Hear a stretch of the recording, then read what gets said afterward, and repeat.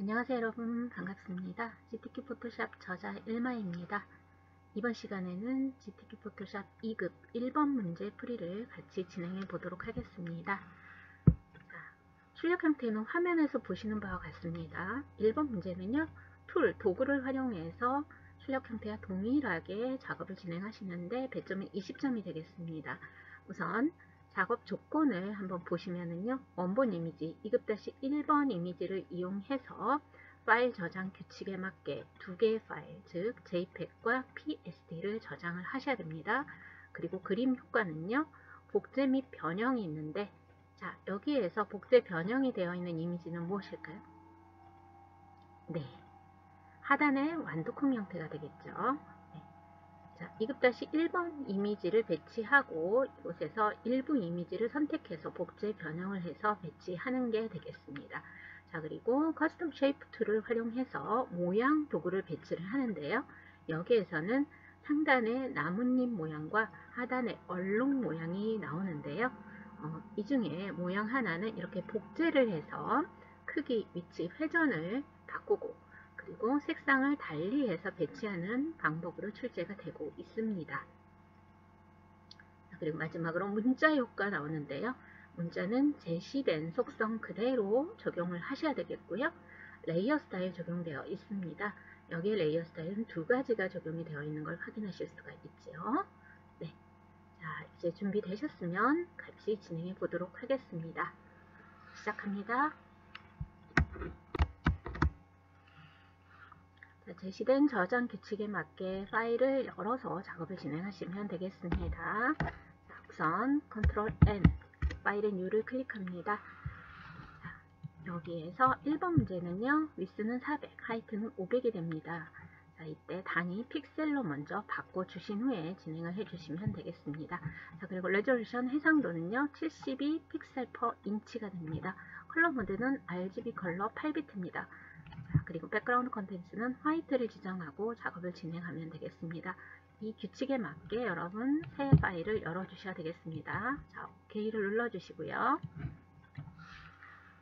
컨트롤 R을 눌러서 눈금자 보기를 합니다. Show Rulers가 되겠죠. 자, 그런 다음에 이렇게 Grid, 격자 표시를 하시는데요. 격자 간격은 100픽셀당 하나씩 표시가 되도록 환경 설정에서 설정을 해 놓은 상태입니다.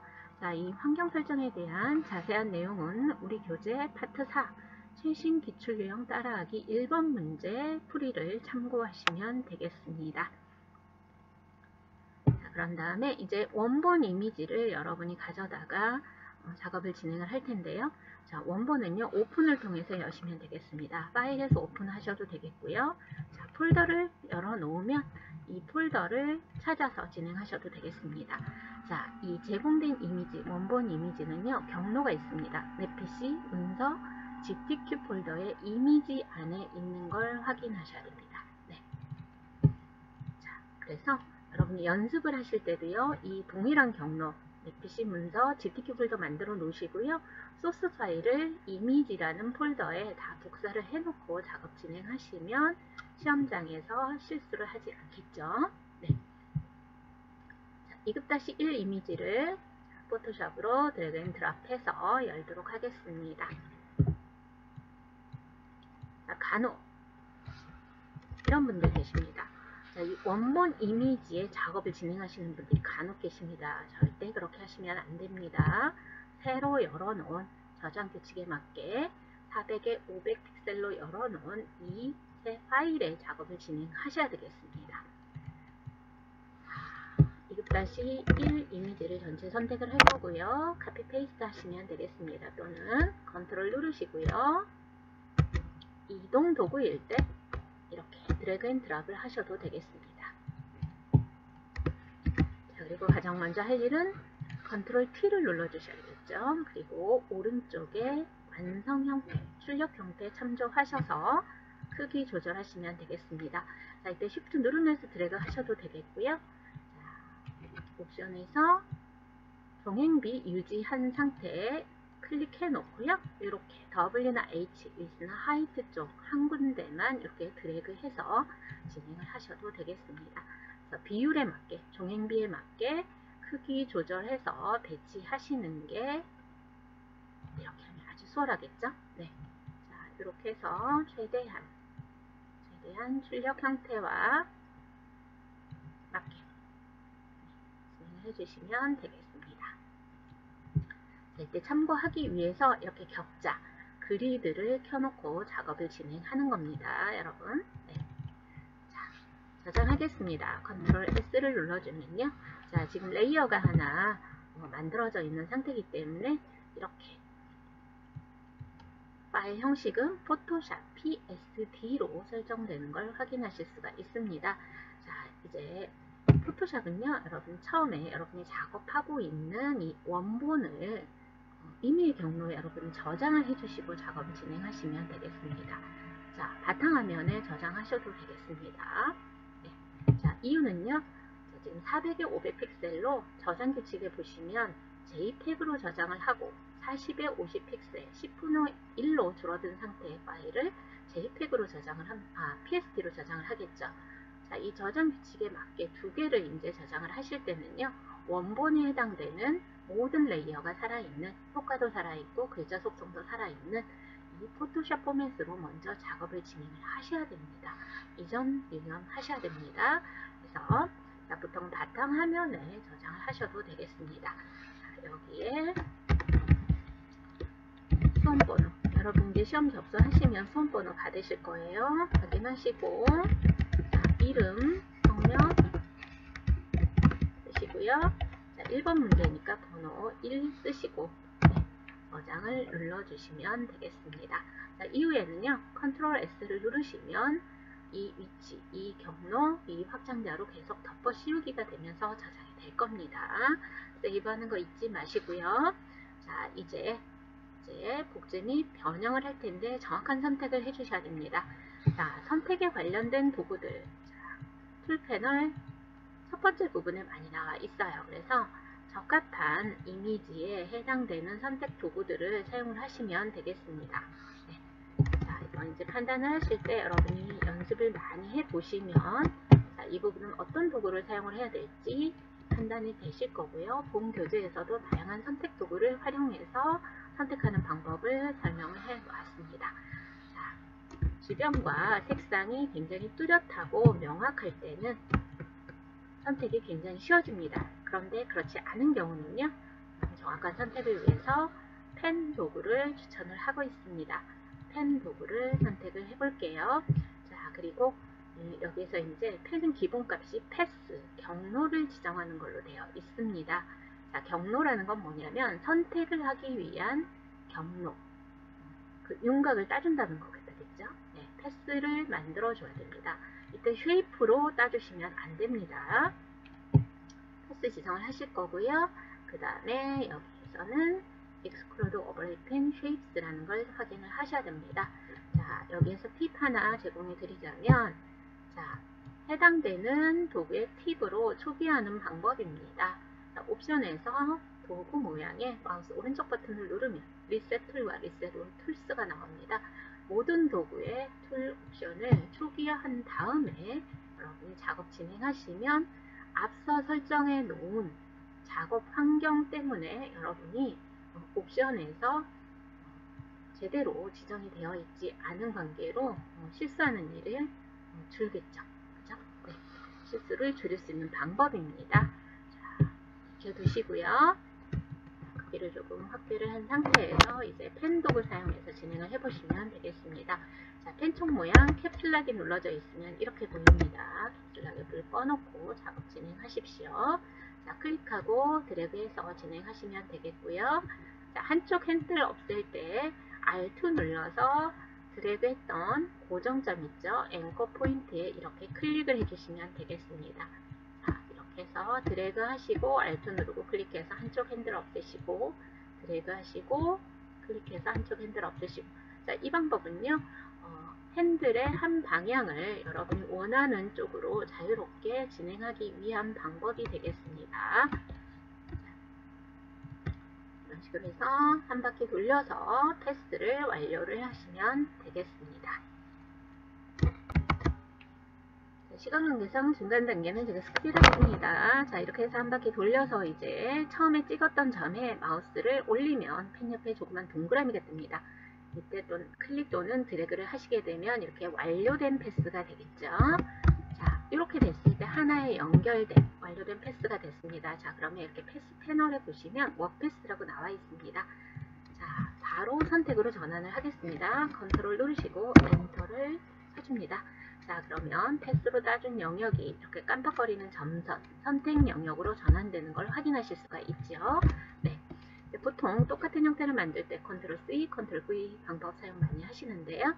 여기에서 레이어 속성으로 Layer Via Copy, 레이어 메뉴에 있습니다. 레이어의 New에 Layer Via Copy 참고하시면 됩니다. 컨트롤 J 자주 사용하는 단축키입니다. 자, 눌러서 쓰시면 되겠습니다. 아 그러면 어 선택이 풀리고 어떻게 되나요?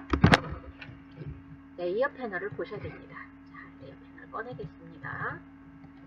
레이어 패널을 보시면 같은 자리에 동일한 위치에 이렇게 레이어 형태로 이렇게 등록된 걸 확인하실 수가 있습니다. 확인되시죠? 자, 레이어 2가 지정이 되어 있을 때 이제 컨트롤 T를 누르셔서 변형을 해주시면 되겠습니다. 자, 위치도 바꿔주실 거고요. 자, 여기 음영이나 모양 보시고요. 변형 활용하시면 되겠습니다. 자, 보시면은요. 좌우 뒤집힌 상태가 되겠죠. 음영 보시면 컨트롤 T 누르시고 마우스 오른쪽 버튼 눌러서 Flip 허리젠탈 클릭해 줍니다. 자, 그리고 쉬프트 누른 채 조절점에 모서리 조절점을 이렇게 드래그 해주시면 어, 종횡비에 맞게 크기 조절이 되겠습니다. 자, 그리고요.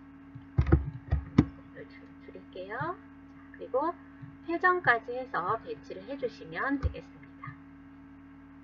출력 형태 그리고 격자 참조하셔서 이렇게 진행을 해주시면 되겠습니다.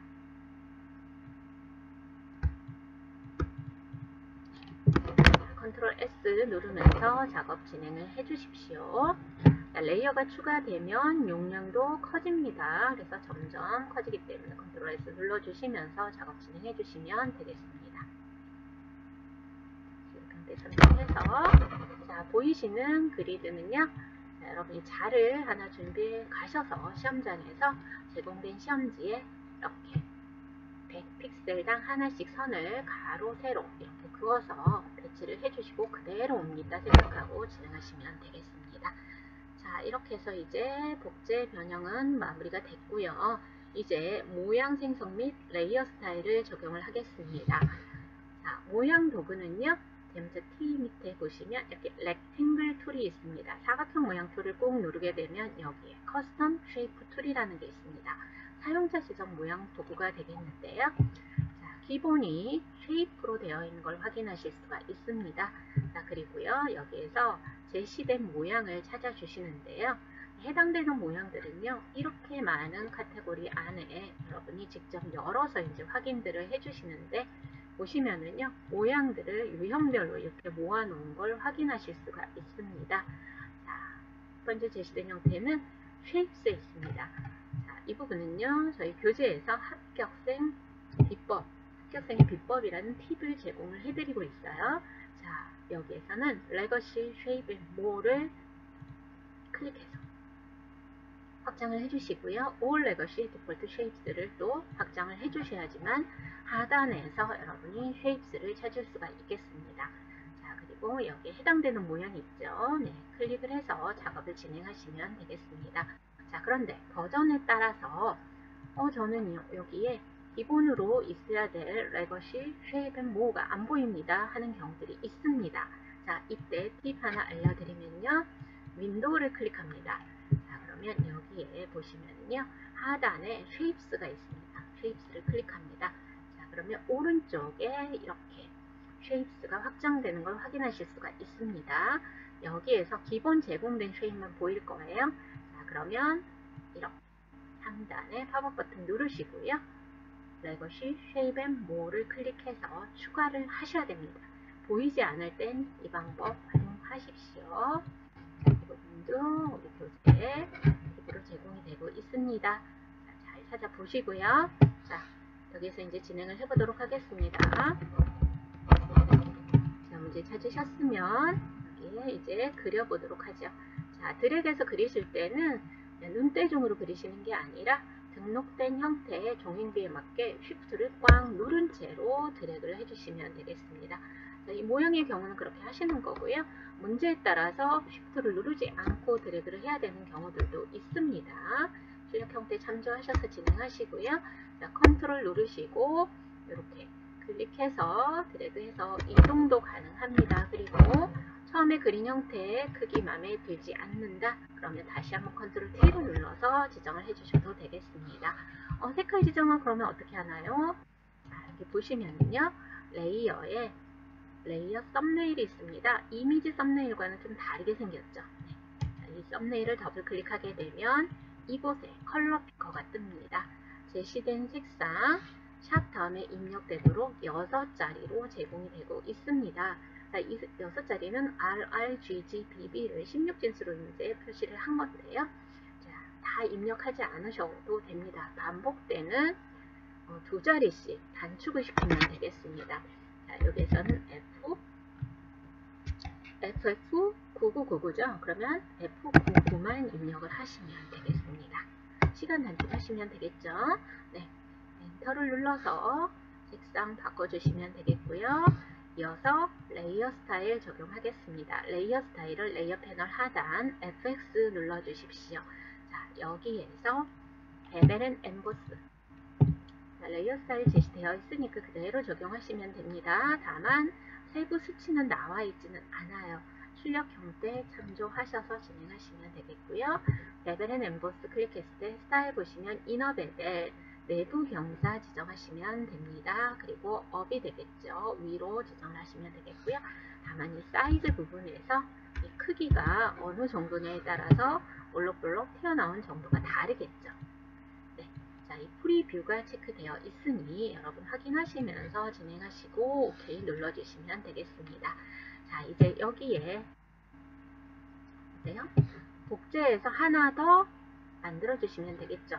간혹 먼저 모양 그리고 색깔 다르게 하고 변형하신 후에 일일이 이 layer style, effect, and Emboss를 따로따로 적용하시는 분들이 계십니다. 그렇게 하지 마시고요.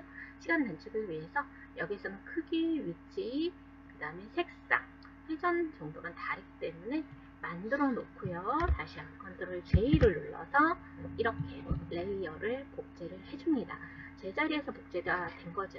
Control T 눌러서 바로 이동해서 크기 조정과 함께 이렇게 회전도 같이 적용을 해주시고 그 다음에 여러분이 색상을 맞춰주시면 되겠습니다. 자, 이렇게 해서 배치할 거고요. 네. 자, 색깔은요. layer thumbnail 더블 클릭해줍니다. 그런 다음에 제시된 색상으로 영문 입력 모드에서 여러분 입력을 해주셔야 되겠습니다.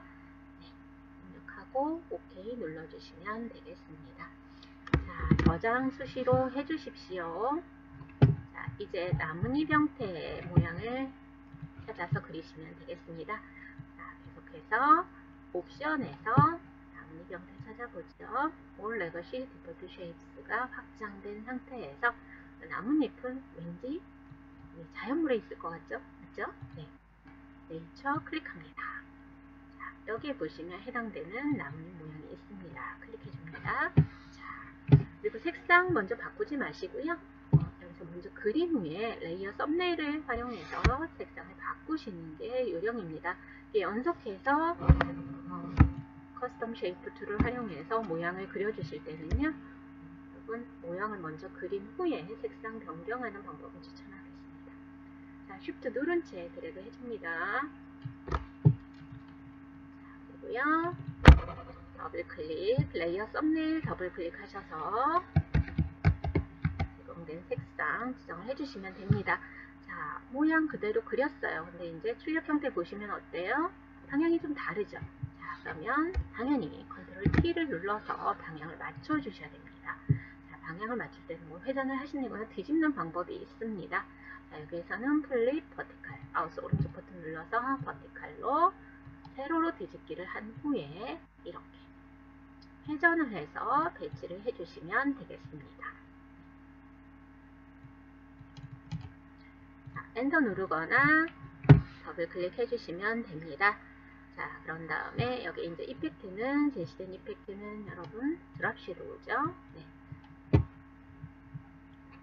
Shadow 클릭 해 주시고요.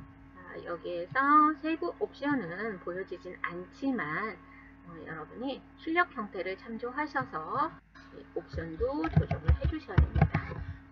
네. 자, 제재 내용 참조하셔서 진행하시면 되겠습니다. 자, 이렇게 layer가 하나 추가될 때마다 저장을 해주셔야 됩니다. 저장되지 않았을 때 다운됐어요. 시간 보상이 될까요? 그렇지 않습니다. 저장 수시로 하시고요. 한 가지 위에 여러분 title bar 제목 부분을 보시면 이렇게 끝에 별표가 있죠. 저장 안 된 데이터가 있다는 뜻입니다. Control S를 누르는 순간 사라지는 걸 확인하실 수가 있습니다. 자, 이제 문자를 입력하시면 되겠네요. 자, 문자를 입력하기 위해서 Type을 선택합니다. 자, Type을 눌러보시면 대체로 여러분 가로 쓰기가 나옵니다. 수평 문자 도구인 Horizontal Type Tool을 사용을 합니다. 간혹 Vertical Type Tool을 활용하는 세로 문자 쓰기도 나옵니다. 이게 잘 구별해서 두 번째 클릭해서 쓰시면 되겠고요. 세 번째, 네 번째는 글자 형태대로 선택이 되는 상태, 마스크 상태입니다. 이게 아니고 첫 번째, 허리젠탈 타입2를 선택합니다. 자, 그리고 작업 도큐멘트에 클릭을 해줍니다. 자, 그러면 이렇게 완성형 텍스트가 나오는데요. 이때 이제 제시된 속성 지정하시면 되겠습니다. 네, 여기에서 자, 영문일 때는 Arial이나 Times New Roman이 어, 제시가 되고 있습니다. 자, 글꼴 빠르게 찾는 방법은 자, 옵션에서 어, 시작되는 철자 몇 개를 이렇게 입력을 해주시면요. 이렇게 완성형으로 제시되는 걸 확인하실 수가 있습니다. 자, Arial Bold입니다. 자, 그리고 글자 크기는 60포인트가 되겠습니다. 여기선 숫자 나오는데 그렇지 않은 경우는 직접 입력하시면 되겠습니다. 자, 그리고요. 어, 여기에서는 Gradient Overlay랑 Stroke 지정이 되어 있어요. 글자 색은 의미가 없습니다. 그래서 바로 입력하시면 됩니다.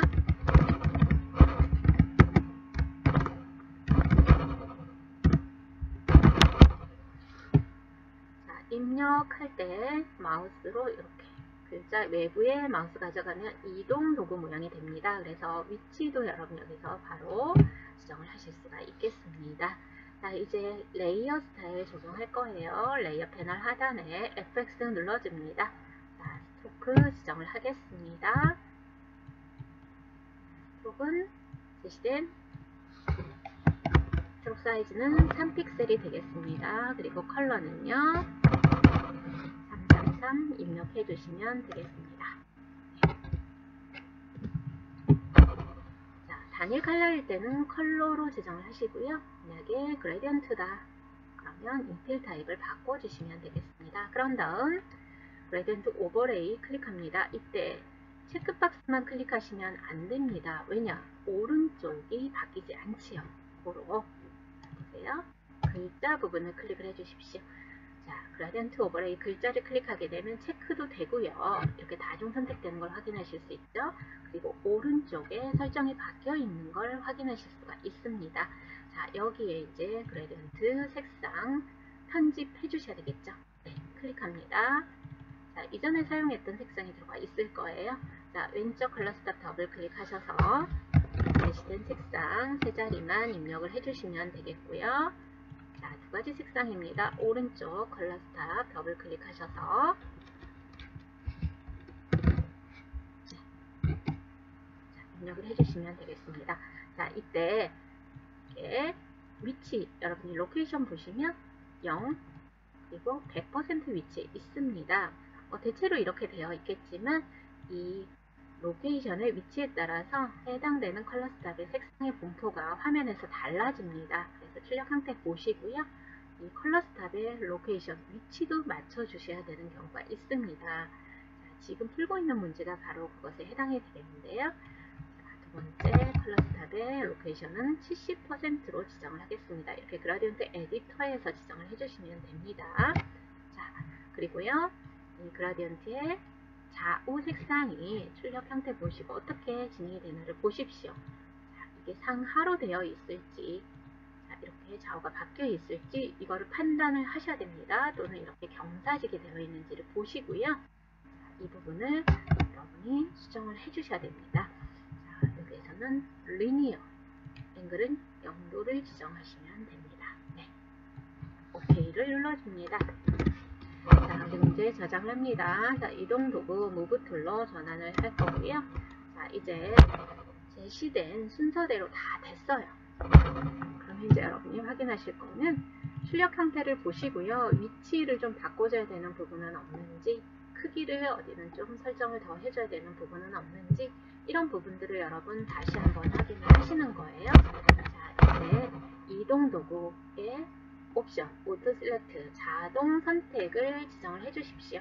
자, 그러면 이렇게 레이어를 지정을 했을 때 바로바로 바로 여러분이 어, 해당 레이어를 레이어 패널에서 선택하지 않아도 됩니다. 보시면은요, 이렇게 클릭하는 대로 바뀌는 걸 확인하실 수가 있죠. 네. 자, 이렇게 하셔서 최종적인 출력 형태 한번 보시고요.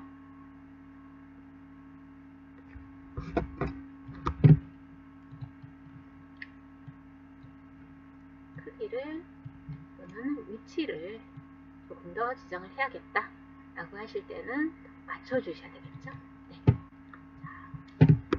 저장을 합니다. 자, 그리고 격자를 가려주십시오. 네.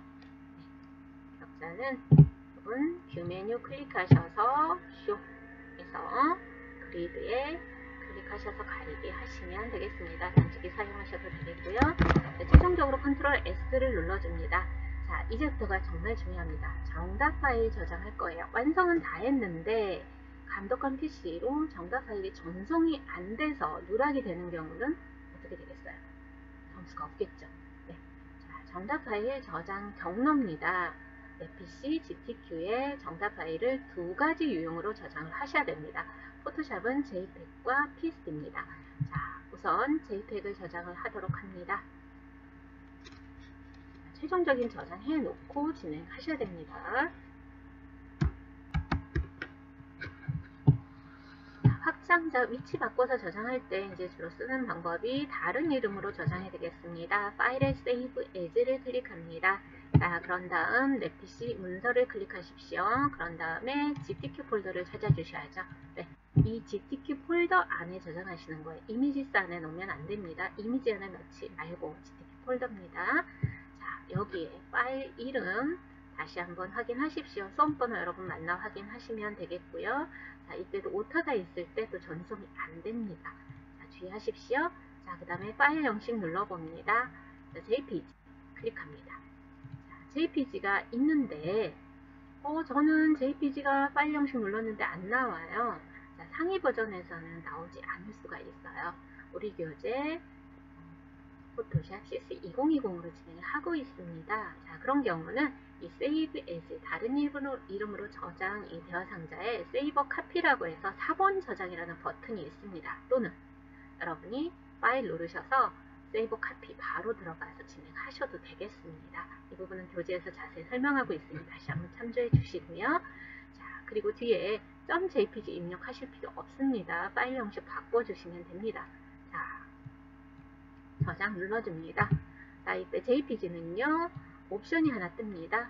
자, quality 어떻게 할 것이냐? quality는 high quality 정도 하시면 됩니다. high 하면 8이 8이라고 숫자가 표시되고 있지요. 자, OK 눌러줍니다.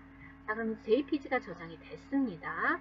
자, 이제 두 번째 10분의 1로 image size를 줄인 상태로 다시 한번 저장하셔야 됩니다. 이미지 사이즈는 이미지 메뉴 클릭합니다. 그런 다음 이미지 사이즈, 이미지 크기를 선택을 해주시고요. 여기에서 10분의 1로 줄여주시면 됩니다. 400을 40으로 입력합니다. 이때 이렇게 종횡비 유지가 체크되어 있기 때문에 40만 입력해도 아래 알아서 50으로 적용됩니다. 이렇게 10분의 1 사이즈로 줄여서 OK를 눌러줍니다. 자, 그러면 사이즈는 줄었지만 현재 이 파일은 레이어 속성이 그대로 다 있는 상태가 됩니다. 자, 이렇게 줄인 상태에서 다시 한번 Save As 버전에 따라서 Save a Copy 하시면 된다고 말씀을 드렸습니다. 자, 그리고 문서 폴더 찾으셔서 GTQ 폴더에 자, 이렇게 저장을 해주시면 되겠습니다. 얼로 마지막으로요. 음, 여러분이 폴더를 열어서 한번 확인을 해 보십시오. 자, 내 PC 문서 GTQ 폴더에 여러분이 이렇게 저장해 놓은 정답 파일이 있나 확인을 해 주셔야 되겠습니다. 자, 정답 파일 전송할 때는 이 경로에 올바르게 저장되어 있는 파일명과 확장자만이 감독한 PC로 전송이 되게 되어 있습니다. 다시 한번 확인해 주시고요. 자, 그리고 여러분이 이제 작업 진행하신 후에 어, 수정할 영역이 어, 불현듯 보여요. 이럴 때는 임시 경로에, 그러니까 임의 경로에 여러분 저장을 해놓은 원본을 열어서 어, 저장한 후에 지금처럼 Save As, Save a Copy를 통해서 이렇게 다시 한번 저장을 해주시면 되겠습니다. 자, 1번 문제 풀이는 여기서 마무리하도록 하겠습니다. 수고하셨습니다. 안녕하세요 여러분 반갑습니다. GTQ 포토샵 저자 일마입니다. 이번 시간에는 2급 2번 문제 풀이 진행하겠습니다. 2번은 사진 편집 기초에 해당되고 배점은 20점이 되겠습니다. 자, 파일 저장 규칙 1번과 동일하게 진행이 되고 있고요. 여기서 원본 이미지는 3개의 이미지를 사용해서 진행을 하시면 되겠습니다. 자, GTQ 포토샵 2급의 2번 문제 핵심은 액자 제작에 있습니다. 액자 제작에는 필터가 적용이 되어 있고요. 안쪽 테두리 적용되어 있습니다. 그리고 레이어 스타일도 적용되어 있고요. 자 보시면 어, 액자 프레임 가장자리 부분에만 어때요? 필터 적용된 걸 확인하실 수가 있지요. 그리고 나머지 두 개의 이미지는 선택 과정을 통해서 어, 출력 형태와 동일하게 크기, 위치 배치하시면 되겠고 그 중 하나의 이미지에는 일부를 선택해서 색상 보정을 하는 방법이 있습니다. 여기에서 세 개의 콩알이 노란색 계열로 보정이 되어 있습니다. 그리고 문자 효과는 하나 적용이 될 텐데요. 자, 오른쪽 정렬되어 있는 거 확인되시죠? 그리고 문자의 왜곡도 적용이 되어 있는 걸 확인하실 수가 있겠습니다. 자, 2번 문제 풀이 시작을 해볼게요. 준비되셨죠? 시작합니다. 먼저 작업 이미지를 만들어 주셔야 되겠죠. 파일의 New를 클릭하고요. 자, 앞서 1번 문제 만드셨다면 2번 문제는 그대로 설정 놔두고 OK 눌러주시면 되겠습니다. 자, 그리고요. 원본 이미지 열어야 되겠죠. 네, GTQ 폴더 안에 이미지에서 이제 원본 이미지 가져다가 배치하시면 되겠습니다. 자, 바로 drag and drop 하지 마시고요. 이렇게 열어서 진행을 하도록 할게요. 전체 선택하시고 Control C, Control V 해서 작업 이미지에 배치하셔도 되겠고요. Move Tool로 drag and drop을 하셔도 되겠습니다. 이때 Shift 누른 채 drag and drop 하게 되면 이렇게 중앙에 이미지가 배치가 됩니다. 자, 이 상태에서 크기, 위치, 방향을 맞춰주시면 되겠습니다. 자, 바로 Control T를 하시면 되겠고요. 이 맷돌 형태 보시면 방향이 다르죠. 좌우가 마우스 오른쪽 버튼 누르시고 Flip Horizontal 클릭합니다. 좌우 뒤집어서 배치를 해주시면 되겠고요. 자, 크기 조절하실 때 Shift 눌러서 진행하셔도 되고 옵션 바에서 종횡비 유지하는 버튼 눌러놓고 작업 진행하셔도 되겠습니다. 이렇게 드래그 하셔서 반드시 그림의 종횡비 유지하는 거 잊지 마십시오. 간혹 이거 무시하고 여러분이 눈대중으로 하시는 분들이 간혹 계십니다. 이랬을 때는 어, 레이아웃, 크기 부분에서 전체적으로 감점이 되겠습니다. 이런 일 없도록 주의해 주시면 되겠습니다.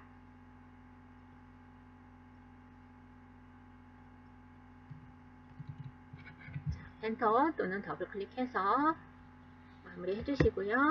자, 저장하겠습니다. 최종적으로 어, 전송할 정답 파일은 두 개입니다. 그러나 여러분이 지금 작업 중에 있는 파일을 먼저 저장을 해 두셔야 됩니다. 자, 임의의 경로에 저장을 하시면 됩니다. 저는 바탕화면을 저장하면서 진행하도록 하겠습니다. 작업 마무리가 됐을 때 답안 전송대 경로 어, GTQ 폴더에 저장하시면 되겠습니다. 자, 수험번호, 성명, 그리고 문제번호 순서대로 입력을 하시고 자, 파일 형식은 포토샵 포맷입니다. PSD, 지금 레이어가 이미 추가되어 있기 때문에 PSD로 설정이 되어 있는 걸 확인하실 수가 있겠습니다. 자, 이제 액자 프레임을 만들 텐데요. 자, 프레임 부분에만 지금 필터가 적용이 되어 있는 걸 확인하실 수가 있습니다. 고로 현재 레이어를 하나 복제해서 필터 적용하겠습니다. Control J를 눌러서 레이어를 하나 복제를 해줍니다. 자, 이 상태에서 필터 적용하기 전에 여러분 저장 한번 더 해주십시오. 자, 메모리가 딸리게 되면 중간중간 속도 저하되다가 다운될 수가 있습니다. 자, 필터는요. 제시된 필터는 모자익 타일입니다. 필터 누르시고 필터 갤러리 클릭합니다. 자, 모자익 타일이 어디 있나 찾아주셔야 되겠죠. 자, 여기선 텍스처에 보시면은요. 여기에 텍스처 모자익 타일이 나와 있습니다. 자, OK를 눌러줍니다. 여기에 적용됐네요. 필터에 모자익 타일을 적용을 했습니다. 자, 이제 테두리 부분에만 남겨놓고 나머지는 어때요? 아래쪽에 원본에 해당되는 이미지가 보여야 되겠죠? 이 작업을 진행을 하면서 안쪽 테두리도 만들어 주도록 하겠습니다. 자, 그러기 위해선 지금 여러분 컨트롤 R을 눌러서 이렇게 눈금자 보기를 해두셨어요. 눈금자는 100픽셀마다 하나씩 표시되도록 환경 설정 맞춰줬고요. 자, 이 부분은 교재 참조해서 다시 한번 확인하시면 되겠습니다. 자, 여기 이제 가로상의 정중앙은 200픽셀인 걸 알겠고요. 세로는 어때요? 전체 500에서 중간이니까 250 픽셀이 화면의 정중앙이 되겠죠. 네, 그래서 안내선에 안내선을 활용해서 여러분 이렇게 표시를 해주도록 하겠습니다. 이렇게 가져다가 중앙에 위치를 표시를 해줍니다. 자, 그리고요. 중앙에서부터 균일하게 선택을 할 거예요. 자, 여러분 출력 상태에서 좌우 상하에 이렇게 액자 프레임의 너비, 높이에 해당되는 부분을 잘 보십시오. 여기서는 50픽셀씩 빠지는 걸 확인하실 수가 있죠. 그죠? 네. 자, 이 50픽셀씩을 빼셔야 됩니다. 그래서 전체 크기에서 상하, 좌우 50픽셀씩을 빼게 되면 나머지 이 프레임 안쪽 크기가 나오겠죠. 네. 자, 그래서 사각형으로 선택하기 위해서 Rectangular Marquee Tool을 클릭합니다. 자, 그리고 New Selection 새 선택일 때 Feather는 0픽셀로 지정을 해주셔야 됩니다. 자, 그리고 기본적으로 스타일, Normal, 표준일 때는 드래그를 통해서 여러분이 이렇게 선택을 하는 방법을 하고 있죠. 자, 그런데 크기를 고정하는 방법이 있습니다. 자, 스타일 눌러서 Fixed Size 클릭합니다. 자, 그러면 오른쪽이 활성이 되는 걸 확인하실 수가 있습니다. 자, 이곳에 액자 프레임을 제외한 나머지 크기를 입력을 해주시면 되겠죠. 300에 400 픽셀로 지정을 해주시고요. 자, 이 중앙의 위치를 표시했습니다. 렉탱귤로 마켓툴로 십자 포인터를 화면 정중앙에 맞춰주시고요. Alt를 누른 채 클릭합니다. 네, 아주 간단한 방법이죠. 중앙에서부터 그려줄 때도 Alt 누르고 그릴 수가 있습니다. 네, Alt 누르고 클릭하게 되면 정확하게 중앙에서부터 위스는 300, 하이트는 400 픽셀 영역만큼 사각형으로 선택을 했습니다. 자, 이때 이제 보셔야 될 게 있습니다. 모서리 부분 있죠? 이 모서리 부분이 어때요? 이렇게 직각으로 꺾여져 있습니다. 그런데 여러분 출력 함께 보시면 이렇게 어때요? 라운딩 되어 있어요. 그죠? 네, 둥그렇게 만드는 방법을 보도록 하겠습니다. 자, Feather 수치를 이용해서 둥그렇게 만드는 방법 택하시면 안 됩니다. 이거는 다 번지는 효과가 적용이 되기 때문에 이때는 선택을 수정하겠습니다. 자, 메뉴에 보시면 Select 메뉴가 있습니다. 자, Modify 클릭하시고요. 여기에 Smooth가 있습니다. Smooth 클릭해 줍니다. Preview가 지원이 되지 않습니다. 자, 교재에서는 10픽셀 적용을 해서 OK를 눌러줬습니다. 여기 코너 부분이 동그랗게 되는 걸 확인하실 수가 있죠. 자, 이 둥근 정도가 어, 출력 상태랑 맞지 않을 때는 Control Z 누르셔서 다시 한번 앞선 과정과 동일하게 Modify Smooth로 들어가 주셔서 수치 지정해 주시면 되겠습니다. 자, 이렇게 하신 후에는 어떻게 하셔야 되죠? 네. Delete를 눌러서 Delete를 눌러서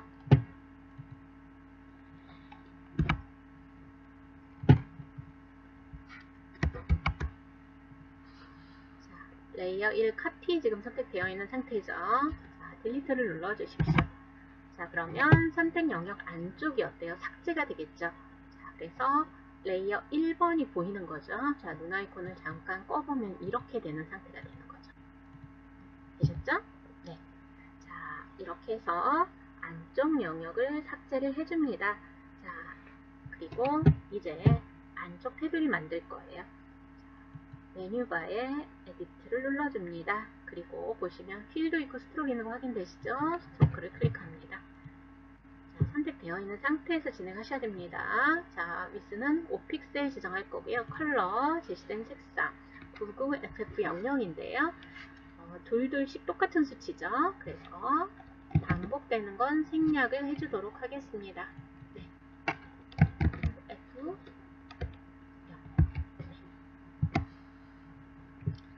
그리고 Location은 Inside 안쪽이 되겠죠. 나머지 설정 확인하시고 OK 눌러주시면 이렇게 안쪽에 제시된 색상에 굵기만큼 테두리가 들어가는 걸 확인하실 수가 있습니다. 자, Control D를 눌러서 선택을 해제하도록 하겠습니다. 자, 저장하시면서 진행해 주시고요. 자, 여기 이제 그림자 효과 들어갑니다. 자, 보시면 이렇게 되어 있어요. 자, 레이어에 FX 누르셔서 드랍 섀도우 클릭합니다. 그리고 그림자 부분에서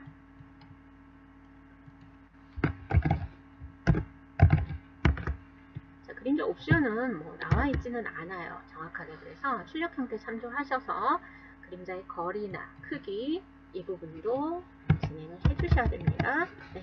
자 그리고 앵글은 이제 해가 비치는 방향이라고 이해를 하시면 되겠습니다. 네. 이렇게 해서 그림자 효과까지 적용을 했습니다. 액자 프레임 완성이 됐죠? 네. 이제 나머지 이미지들을 불러서 어, 이미지 출력 형태에 맞게 합성하고 색상 보정해 보도록 합니다.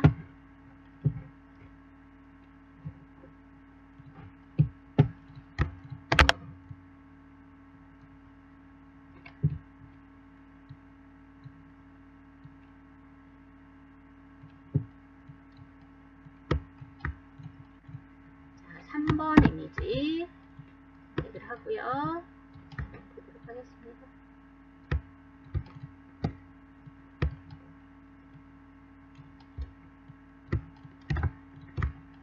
자, 비교적 색상이 뚜렷하게 구별이 되고 있죠?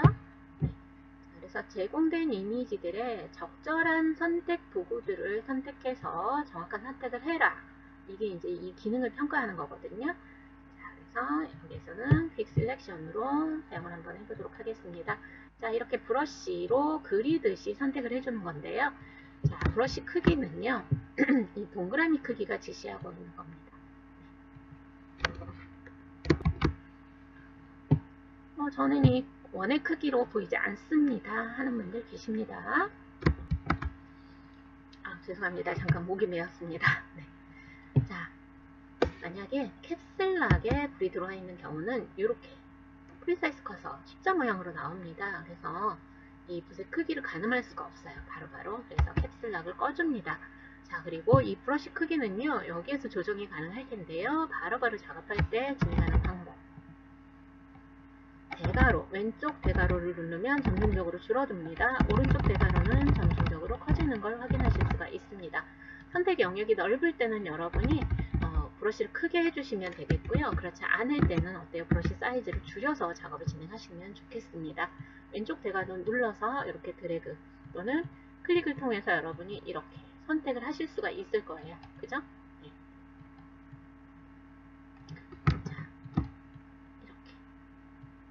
자, 이렇게. 하다 보니까 어때요? 선택 범위가 이렇게 벗어나는 것들도 있습니다. 그죠? 자, 이때는요. 자, 여기 Quick Selection의 기본 옵션을 보시면 새로운 선택이지만 드래그 하는 순간 이게 Add to Selection에서 선택을 추가한 겁니다. 반대의 경우가 이제 선택을 빼주는 거가 되겠습니다. 마이너스가 나오는 건데요. 작업할 때 여러분 옵션 바에 가지 않고 하는 방법은요. Alt를 누른 채 클릭 또는 드래그를 해주시면 되겠습니다.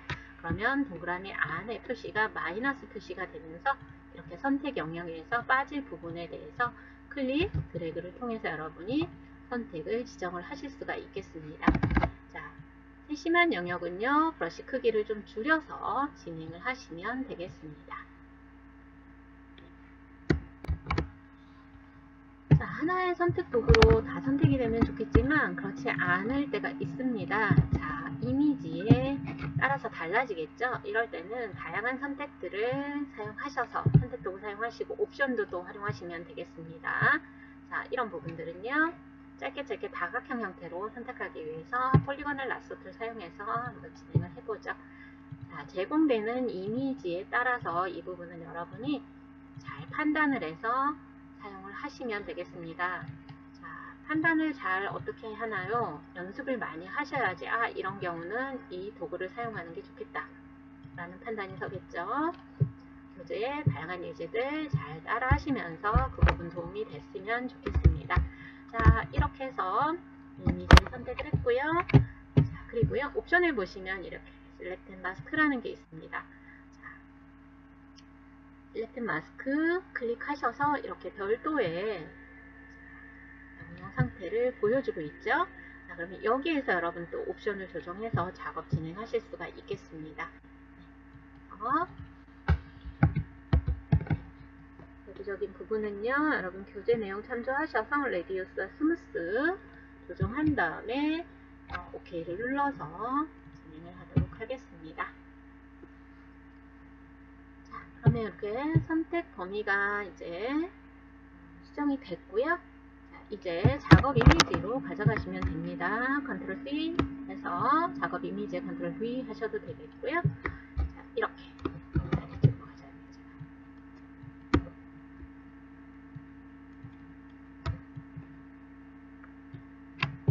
작업 이미지로 이동 도구 사용하셔서 drag and drop 하셔도 되겠습니다. 자, 하도록 할게요.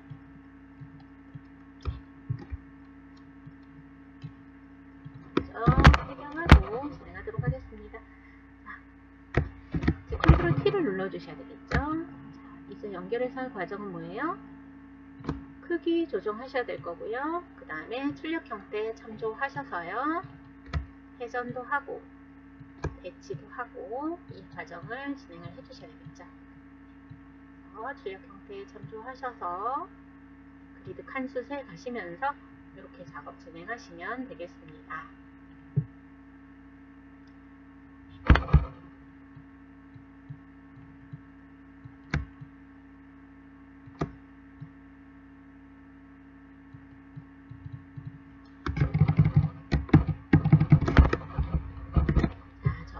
저장 중간중간 하시는 거 잊지 마시고요. 자, 이렇게 배치를 했고요. 자, 여기에 레이어 선택하시고요. 레이어 스타일 적용하시면 되겠습니다. Drop Shadow도 적용해줍니다. Distance 사이즈 조정하도록 합니다. 자, 이 정도의 이, 이 수치는 여러분이 여기를 보시고요. 어, 최종 출력 형태 보시고 맞춰 주셔야 되는 겁니다. 자, 이제 세 개의 콩알을 선택해서 색상 보정을 해주시면 되겠네요. 이렇게 자, 이게 이제 에디터 셀렉션이기 때문에 선택이 어때요? 계속 추가가 되는 걸 확인하실 수가 있습니다. 자, 색상은요, 노란색 계열로 보정을 할 거예요. 색상 보정은요, 이미지 메뉴를 이용해서 바로 보정하는 방법도 있지만, 어, 나중에 편집 가능성을 열어놓고 보정하는 게 훨씬 수월합니다. 네, 그래서 레이어의 장치를 활용하겠습니다. 레이어 패널을 보시면 하단에 네 번째 아이콘이 있어요. 자, 눌러보십시오. 여기에 조정 레이어를 지정하실 수가 있습니다. 그래서 이미지 조정에 있는 메뉴들과 일부 겹치는데요. 색상 보정하는 것은 주로 Hue Saturation을 사용을 합니다. 클릭을 해주시면 오른쪽에 이렇게 속성이 나오는 걸 확인하실 수가 있고요. 깜빡거리던 점선은 사라집니다. 대신에 이렇게 레이어에 Hue Saturation 1이라고 하는 조정 레이어가 만들어진 걸 확인하실 수가 있습니다. 자, 하나의 색상막이 입혀졌다라고 보시면 되겠습니다. 그리고 여기서 보시면은요. 오른쪽에 연결되어 있는 사각형의 검정색 바탕에 흰색으로 어때요? 선택된 영역만 이렇게 하얗게 되어 있는 걸 확인하실 수가 있죠. 자, 히 이렇게 흰색으로 되어 있는 부분에만 색상 보정이 일어납니다. 자, 이때 하단의 Colorize 색상화 지정을 해주시고요. Hue는 색조가 됩니다. 이렇게 색조 조정을 하시는데 이때 어, 색깔이 왜 이렇게 칙칙하게 나오나요? Saturation 채도가 낮아서 그렇죠. 채도를 올려주시면 색이 이렇게 vivid하게 살아납니다. 그죠? 네. 그래서 노란색 계열이니까 여기 스펙트럼 상의 노란색 부분에 이렇게 이동을 하시면서 보시면 될 거예요. 그죠? 네. 바뀌는 걸 확인하실 수가 있죠? 자, 그 다음에 Lightness는 밝기, 명도를 조정해 줄 수가 있는 겁니다. 그래서 좌우로 드래그해서 조정을 해주시면 되겠고요. 이제 참조해서 정확한 수치 여러분 적용하시면 되겠습니다. 자, 이 조정 레이어에 눈 아이콘을 꺼볼게요. 원본 유지가 되고 있죠. 다시 눈 아이콘 켤게요. 가시성을 켜게 되면 다시 이 부분에만 색상이 바뀌어 있는 걸 확인하실 수가 있습니다.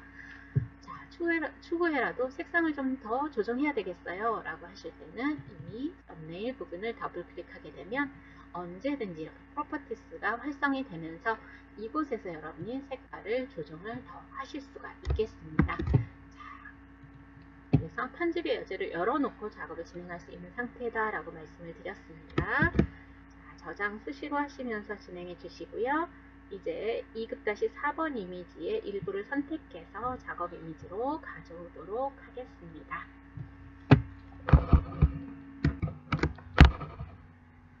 자, 이미지를 불러오고요. 자, 경계 부분에 이렇게 blurring 처리가 되어 있거나 음영 부분에서 좀 명확하지 않을 때가 있어요. 이럴 때는 여러분 명확하고 깔끔한 선택을 위해서 Pen Tool을 사용을 해줍니다. 자, Pen Tool을 선택해 주시고요. 위 옵션에 path인지 확인을 해 주십시오. 자, 선택을 위한 path 작업을 하실 때는 항상 펜 모양, 옵션 바의 펜 모양의 마우스 오른 버튼 눌러서 Reset Tool 하고 시작하셔도 되겠습니다. 자, 펜 옆에 이렇게 별표가 있을 땐 초기 상태를 말합니다.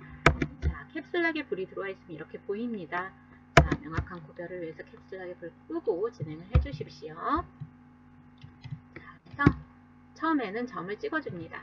자, 그러면 어때요? 펜 옆에 아무 표시가 없어지죠? 그죠? 네. 별표가 없어집니다. 작업 중일 때는 이렇게 펜 모양만 나오게 됩니다. 자, 곡선일 땐 이렇게 드래그해서 양쪽 핸들이 생성이 되게 하시고요. 자, 이렇게 드래그를 해줍니다. 자, 그리고요, 여기에서 이제 이렇게 커브 전환을 할 때 바로 연결을 하게 되면 이렇게 한번 휘어지게 되죠. 자, 이럴 때는 Control Z 해서 어, 명령 취소해 주시고요. 한쪽 핸들을 제어를 해주시면 됩니다. 핵심은요, Alt를 누른 채 드래그 했던 이 anchor point 있죠. 이곳에 마우스 끝을 갖다 대면 이렇게 펜 옆에 꺽쇠 모양 나옵니다. 클릭해 줍니다. 그리고 Alt에서 손을 떼줍니다. 그러면 한쪽 핸들이 사라진 걸 확인하실 수가 있죠. 네. 자, 이렇게 한 상태에서 경계선을 따라서 여러분이 패스 작업을 진행을 해주시면 되겠습니다. 자, 이렇게 해서 가장자리를 따라서 패스 작업을 완료하실 땐 처음에 찍었던 점에 펜 모양을 갖다 대면 이렇게 펜 옆에 동그라미가 뜹니다. 자, 이때 클릭 또는 드래그해서 path를 완료를 하십시오. 주의할 점은 어, 너무 크게 화면을 확대해 놓고 따게 되면 픽셀 단위로 이렇게 계단 현상이 보이죠? 네, 장인 정신 발휘하셔서 따시는 분들 계시는데 그렇게 하실 필요 없습니다. 자, 이렇게 적당한 크기로 화면 배치해 놓고 작업 진행하시고요. path가 다 따진 후에라도 컨트롤 누르시고 이렇게 Direct Selection Tool로 전환이 되어 있을 때 컨트롤 누른 상태에서 path선을 또 편집하실 수가 있겠습니다. 자, 완료가 됐으면 Control Enter를 눌러줍니다. 그러면 어때요? 선택이 된 걸 확인하실 수가 있지요. 네. 자, Move Tool로 전환해서 바로 drag and drop 하겠습니다. 물론 Control C, Control V 해서 작업 진행하셔도 되겠습니다. 자, Control T 눌러주시고요. Shift 누른 채 조절점의 모서리를 드래그해서 크기를 조정하시고요. 위치 맞춰서 배치하시면 되겠습니다. 자, layer 추가될 때마다 여러분 저장 수시로 하는 거 잊지 마십시오. 네. 자, 이렇게 해서 진행해 주시고요. 이제 Effect 적용하도록 하겠습니다. Layer 패널 하단에 FX 누르시고요. 여기에는 Outer Glow 효과 외부 광선 적용되어 있습니다. 자, Preview 체크되어 있는 상태에서 사이즈 출력 상태 참조하셔서 조정하고 OK 눌러주시면 되겠네요. 자 이제 문자 입력하고 Layer Style 적용하도록 하겠습니다. 자 여기에서 보시면 여러분 문자 두 줄로 입력이 되어 있고 오른쪽 정렬입니다. 자 Horizontal Type을 선택합니다. 작업 document에 클릭을 하겠습니다.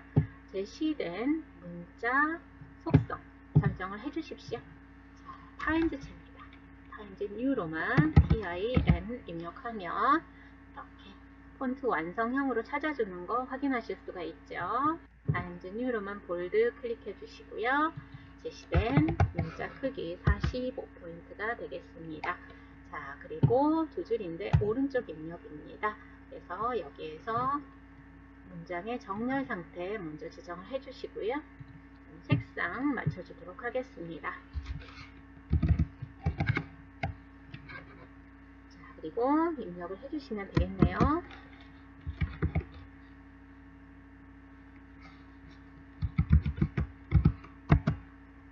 눌러주시고요. 네. 글자의 위치는 입력하실 때 이렇게 바깥쪽에 마우스 배치하시고 이동하시면 되겠습니다. 자, 이제 문자를 왜곡을 하겠습니다. 자, 옵션 바에 보시면 이렇게 언덕에 서 있는 T자 있죠? 네, Create Warp Text입니다. 클릭해 줍니다. 자, 그러면 Warp Text 대화 상자가 열리는데 스타일을 보시고요. 자, 왜곡된 모양을 여러분이 판단을 해주시면 되겠습니다. 휘어져 있는 형태입니다. 여러분 보시면 Flag가 있고요. 보시면 Wave가 있죠. 자, 여기서는 이제 Wave에 해당이 되겠습니다. 자, 그리고 이 Bend를 어떻게 조정을 하느냐에 따라서 구부리는 방향이 달라지는 걸 확인하실 수가 있죠. 자, 물론 기본적으로 Horizontal이 되어 있기 때문에 Horizontal 체크하시고요.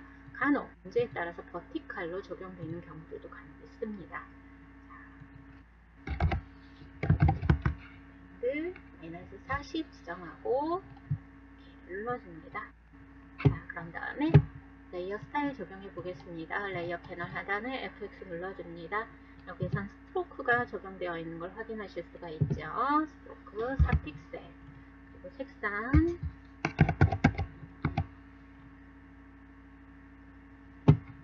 입력해서 OK를 눌러주시면 되겠습니다. 자, 이렇게 해서요. 여러분 최종적으로 이제 완성 형태, 출력 형태 참조하셔서 레이아웃, 크기, 배치 부분 다시 한번 확인을 해주시고요.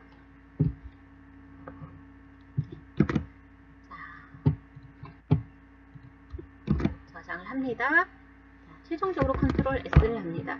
지금 저장은 원본 파일이 되겠습니다. 네, 그래서 음, 여러분이 임의 경로에 이제 저장을 해서 작업을 진행을 하셨고요. 이제 정답 파일 저장할 차례입니다. 정답 파일은 감독관 PC로 정답이 전송될 위치입니다. 시험장에서 지정된 위치가 되겠죠. 저장 경로 보겠습니다. 자, 이제 안내선과 격자를 가리시고요. 파일에서 Save As를 눌러줍니다. 자, 지금 저장하고 있는 경로가 표시가 되고 있습니다. 정답 전송될 경로 내 PC 문서 클릭하시고요. GTK 폴더 열어줍니다. 자, 이곳에 저장을 해줍니다. 첫 번째 무엇을요? JPEG이요. 파일 형식 JPEG으로 바꿔줍니다. 그리고 수험번호 맞았나 다시 한번 확인하시고요. 오타 없나 확인하십시오. 자, 그런 다음에 저장 눌러줍니다. 자, JPEG 찾을 수 없는 분들은 세이브 카피 사본 저장 찾아주시면 되겠습니다.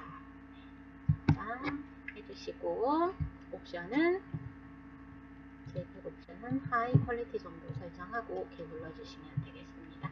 자, 그런 다음 두 번째 10분의 1로 이미지 사이즈를 줄여주셔야 되겠죠. 이미지 사이즈에서 두 개 링크 되어 있을 때 위스 40, height 50 지정하시고 다시 한번 Save As를 통해서 어디로요?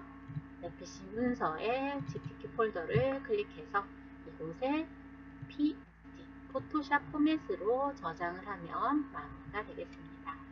자, 문제 하나하나 풀이하시고요. 그때그때마다 바탕화면에 시험 정답 전송할 수 있는 프로그램 활용하셔서 바로바로 전송하시는 거 잊지 마십시오. 네, 이번 문제 풀이는 여기까지 마무리하겠습니다. 수고하셨습니다. 여러분 안녕하세요. 반갑습니다. GTQ 포토샵 저자 율마입니다. 이번 시간에는 GTQ 포토샵 2급 3번 문제 풀이를 같이 진행해 보도록 하겠습니다.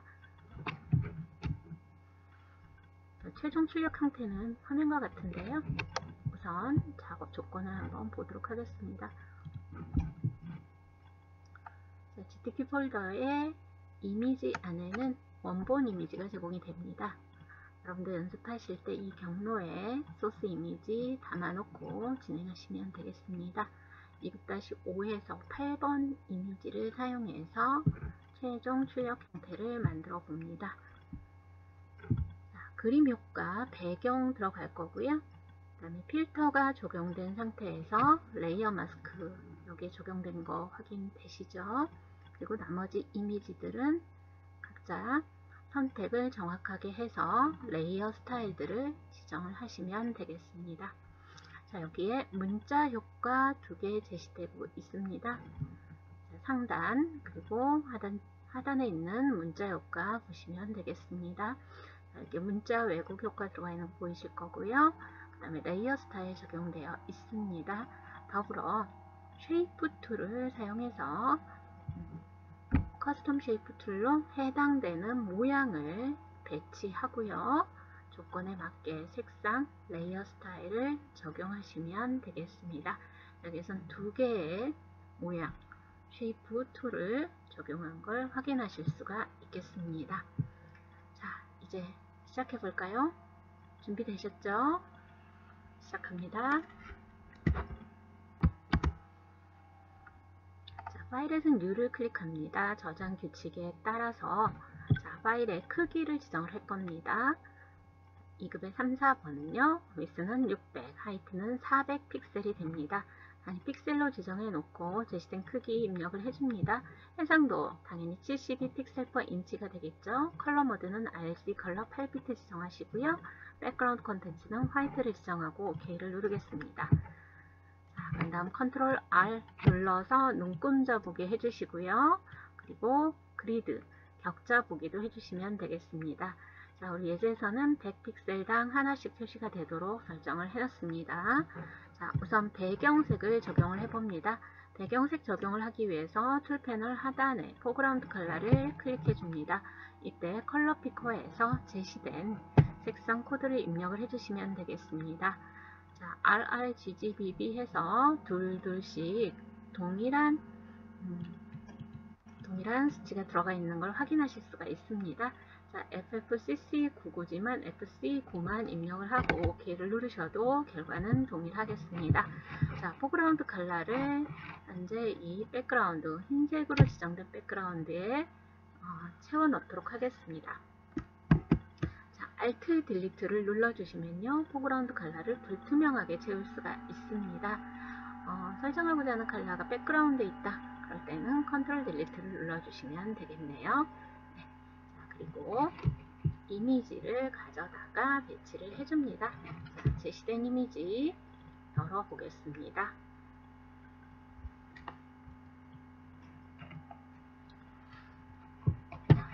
이렇게 이미지를 다 열어 놓으시고요. 파일에 Open을 해도 되고요. 자, 폴더에서 이미지 폴더에서 포토샵으로 drag and drop을 해도 되겠습니다. 자, 배경을 만들기 위해서 2급-5 이미지 전체를 선택해서 작업 이미지로 붙여넣기를 해줍니다. 컨트롤 A, 컨트롤 C 하고 작업 이미지에 컨트롤 V 해서 붙여넣기 하셔도 되겠고요. 이동 도구, Move Tool로 drag and drop을 해도 되겠습니다. 편리한 방법 쓰시면 됩니다. 자, 그리고요, 여기에서 출력 형태 자, 보시고요. 배경, 위치 크기 지정을 해주시면 되겠습니다. 자, 컨트롤 T를 눌러줍니다. 그런 다음에 가로, 세로 종횡비에 맞게 크기를 조정을 해주셔야 되겠죠. 자, 여기에서 보시면 크기 조절 들어가 있는 걸 확인하실 수가 있습니다. 자, 그리고 출력 형태 참조하셔서 위치도 맞춰주시면 되겠습니다. 자, 변형을 완료를 했습니다. 자, 저장을 하고 필터 적용하겠습니다. 컨트롤 S를 눌러줍니다.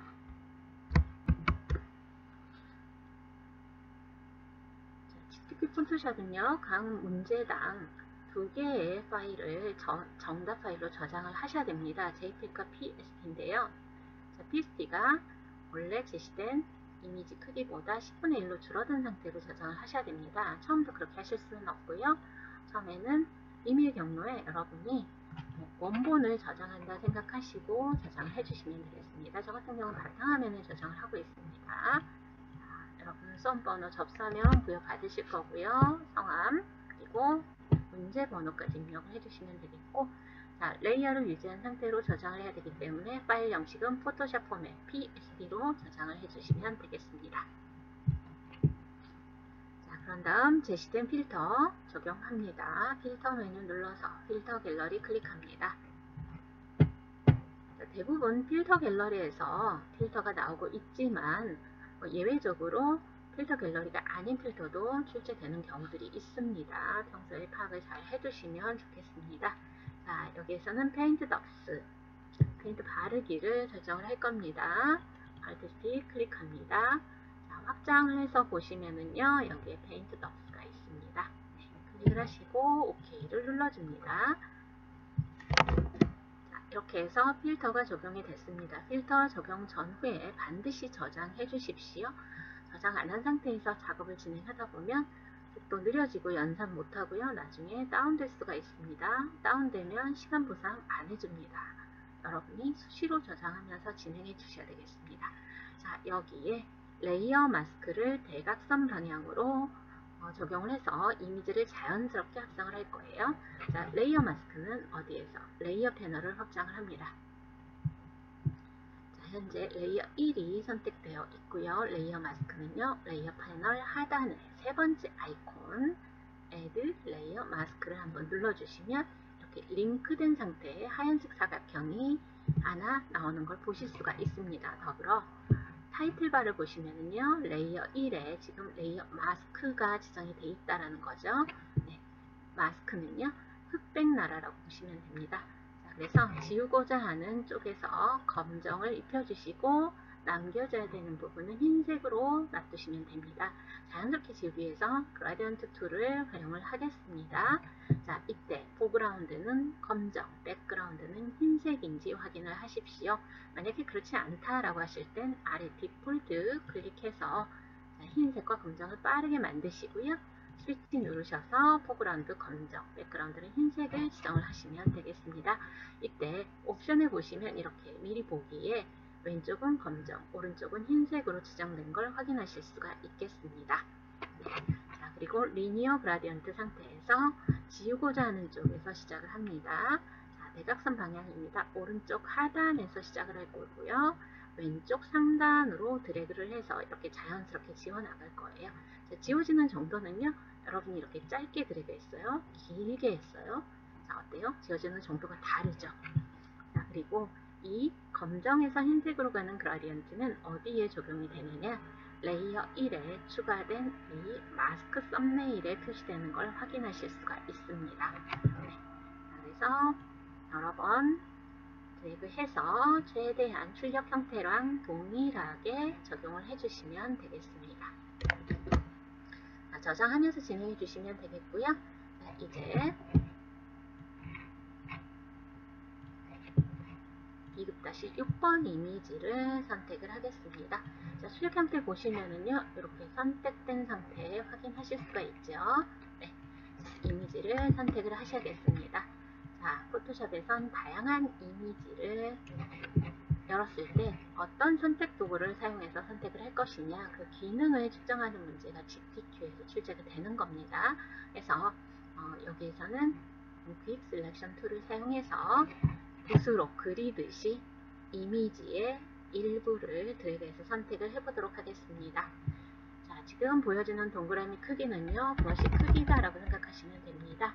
자, 브러쉬 크기를 점진적으로 줄이거나 키우는 방법은요, 키보드의 왼쪽 대괄호, 오른쪽 대괄호 눌러주시면 되겠습니다.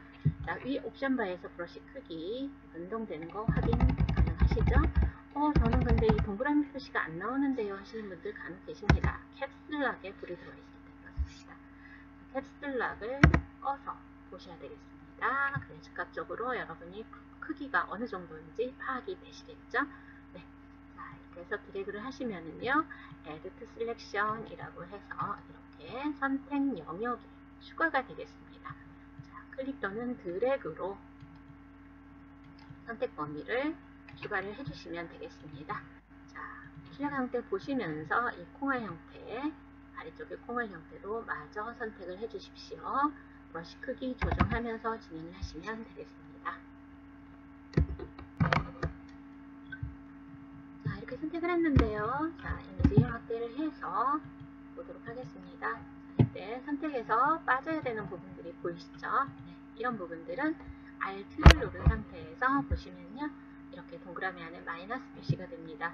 아울러 옵션에서도 이렇게 선택 영역에서 빼는 역할을 해주는 도구로 바뀌는 걸 확인하실 수가 있습니다. Alt를 누르고 계셔야 됩니다.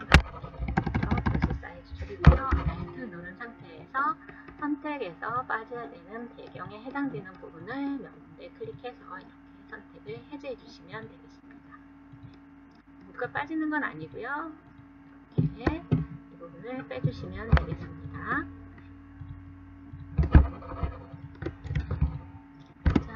선택 과정을 거쳤고요. 이제 작업 이미지로 가져갑니다. Control C, Control V 해서 가져가셔도 되고 이동 도구로 drag and drop을 해서 가져가셔도 되겠습니다. 자, 그런 다음에 출력 형태 보시면서 크기 조정 먼저 해주셔야 되겠죠. 네. Control T를 눌러주시고요. 종횡비에 맞게 크기 조절을 해줍니다. 옵션 바에서 적용하실 때는 종횡비 고정 클릭하시고요. W나 H 위에 마우스 올려놓고 이렇게 좌우로 드래그 하셔서 크기 조정을 하시면 되겠습니다. 자, 그러면 Shift를 누르고 모서리를 드래그한 것과 같은 결과가 됩니다. 이렇게 하시고요. 위치 맞춰주시고요. 그 다음에 회전도 아울러 해서 출력 형태와 동일하게 배치를 해주시면 되겠습니다.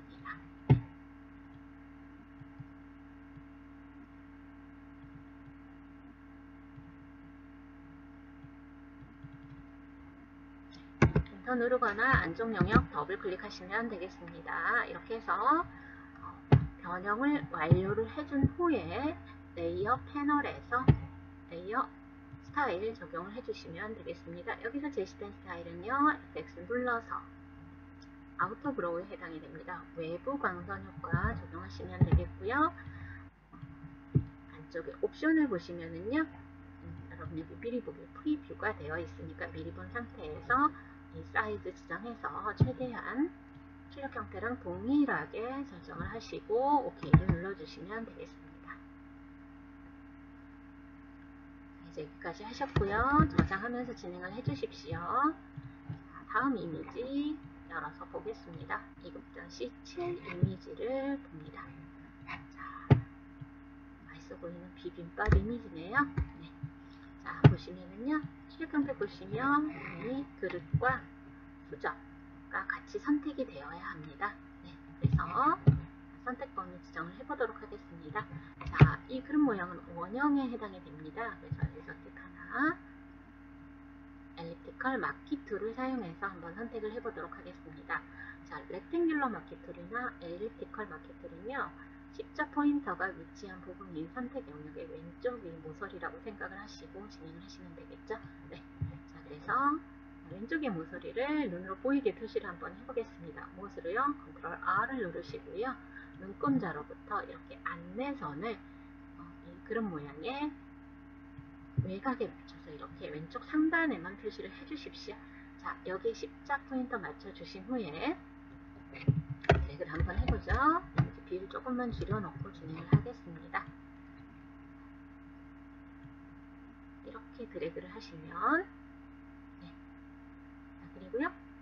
선택 영역 똑같이 안 맞추셔도 돼요. 이 선택 범위보다 살짝 안쪽으로 선택이 되게끔 네. 이런 식으로 하시면 되겠고요. 선택 영역 안에 마우스 올려놓고 보시면요. 얼마든지 이 안에서 이 원형의 선택 범위 여러분이 조정을 하실 수가 있습니다. 자, 이렇게 해주시면 되겠고요. 자, 이제 왼쪽 형태는 어떻게 선택을 하느냐. 지금 원형이 선택된 상태에서 왼쪽 형태도 같이 선택을 해줘야 되는 거죠. 자, 이 숟가락과 젓가락 모양을 같이 선택을 해야 되는데 자, 그림자 부분과 이런 부분들이 있어서 정확한 선택을 하기에 좀 쉽지는 않은 영역이 되겠습니다. 그래서 pen tool을 사용을 해서 선택을 같이 해보도록 할게요. 네. 자, 펜 선택합니다. 자, 보시는 바와 같이 펜쪽 끝이 뾰족하기 때문에 정확한 선택을 하기에 아주 유용한 도구가 되겠습니다. 자, 그리고요. 패스 상태로 만들어 주셔야지만 선택을 했을 때 이렇게 깜빡거리는 점선으로 우리 눈을 보이게 되겠습니다. 자, 위에 옵션 패스인지 확인을 해주시면 되겠고요. 자, 그리고 기본적으로 설정되어 있는 연산에서 Exclude Overlapping Shades인지 확인을 해주십시오. 이걸 확인하는 방법은 리셋을 하는 방법입니다. 옵션의 펜 모양의 마우스 오른쪽 버튼 눌러서 리셋을 하시면 되겠습니다. 자, 그리고요. 한번 이미지를 따라서 선택을 해주시면 되겠습니다. 자, 펜 모양 옆에 별표일 때는 첫 점을 찍어주기 전에는 보입니다. 자, 이렇게 클릭을 해주시고요. 그 다음에 클릭해서 이렇게 윤곽을 따라서 직선일 때는 그냥 클릭해 주시면 되겠고요. 곡선일 때는 드래그 하셔야 되겠죠. 자, 이미지 크기도 조정을 해 가시면서 이렇게 해서 처음에 찍었던 점과 만나면 펜 옆에 동그라미가 떠서 닫힌 패스가 됩니다. 클로즈가 됩니다. 클릭합니다. 자, 그런 다음에 펜 모양을 보시면 펜 옆에 별표가 나와서 이렇게 떨어져 있는 옆에 있는 이미지도 이렇게 또 다른 패스로 따줄 수가 있겠죠. 자, 이렇게 해서 패스를 완성을 해 가시면 되겠습니다.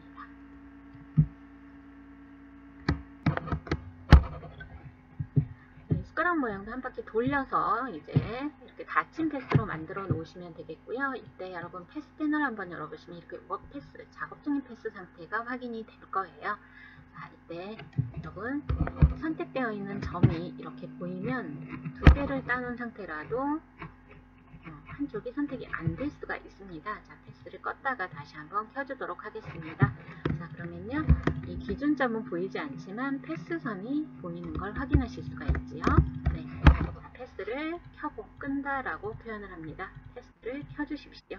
자, 그러면 어떻게 해서 지금 이미 선택되어 있는 이 원형의 접시 부분과 함께 이 영역을 선택을 해주느냐 이게 이제 고민이 되겠죠? 자, 음악대한테 조금 더 옮겨줄게요.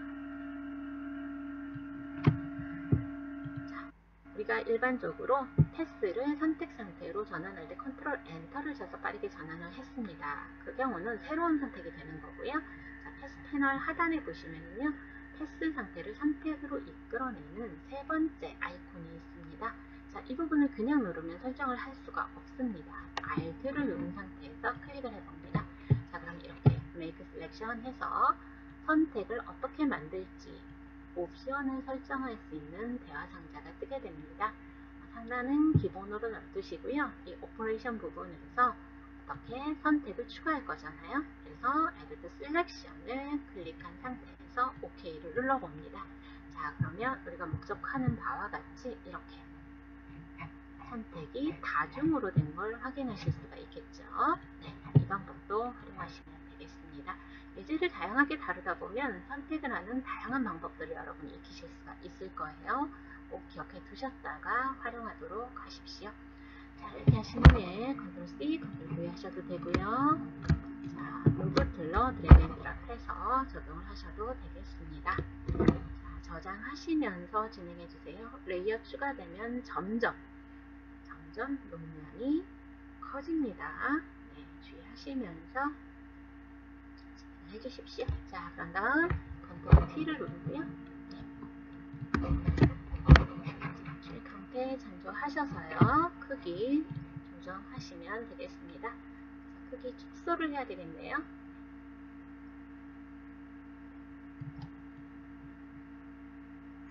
크기를 축소를 해볼 거고요.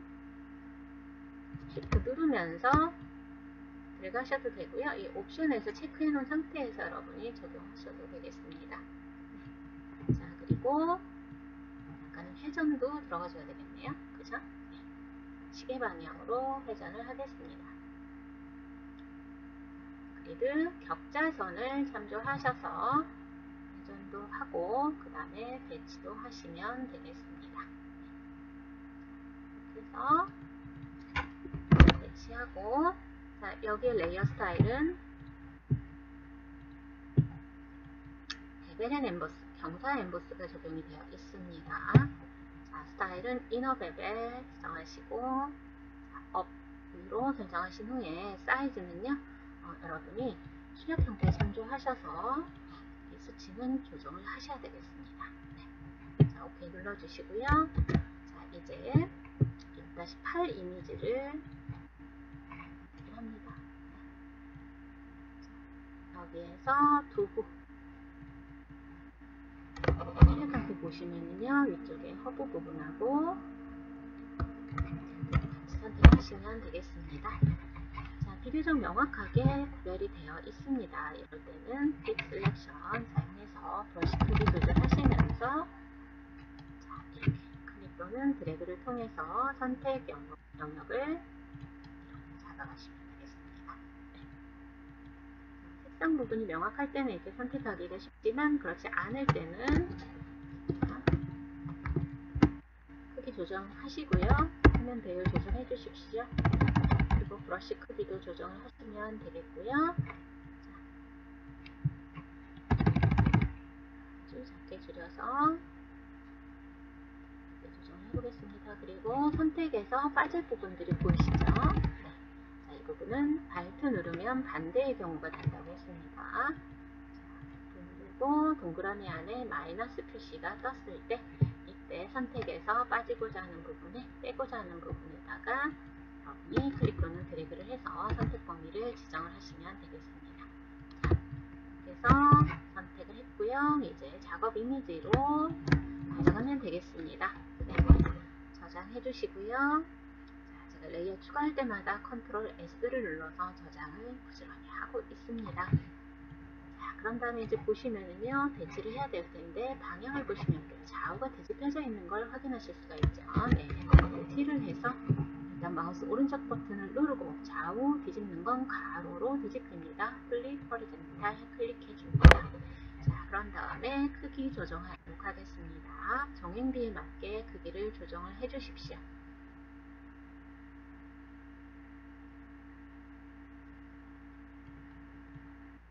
그리고요.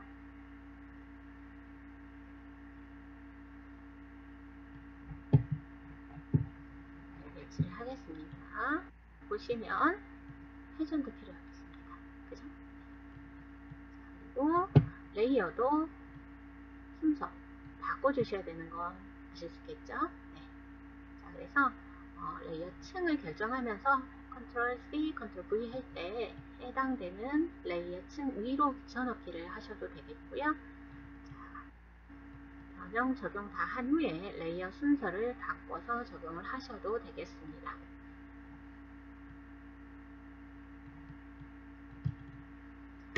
적용을 했고요. 자, 레이어 순서는요.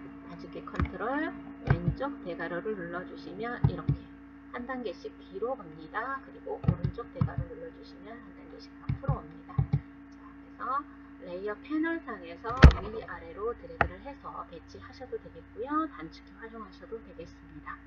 자, 이렇게 해서 어레인지 적용을 하시면 되겠고요. 자, 여기에는 드랍 섀도우 적용이 되어 있습니다. 그림자 효과 적용을 해봅니다.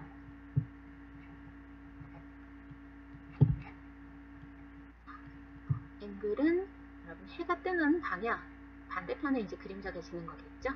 Angle도 한번 확인을 해주시고요. 자, 그런 다음 Distance 거리와 함께 크기 사이즈도 적용을 해주시면 되겠습니다.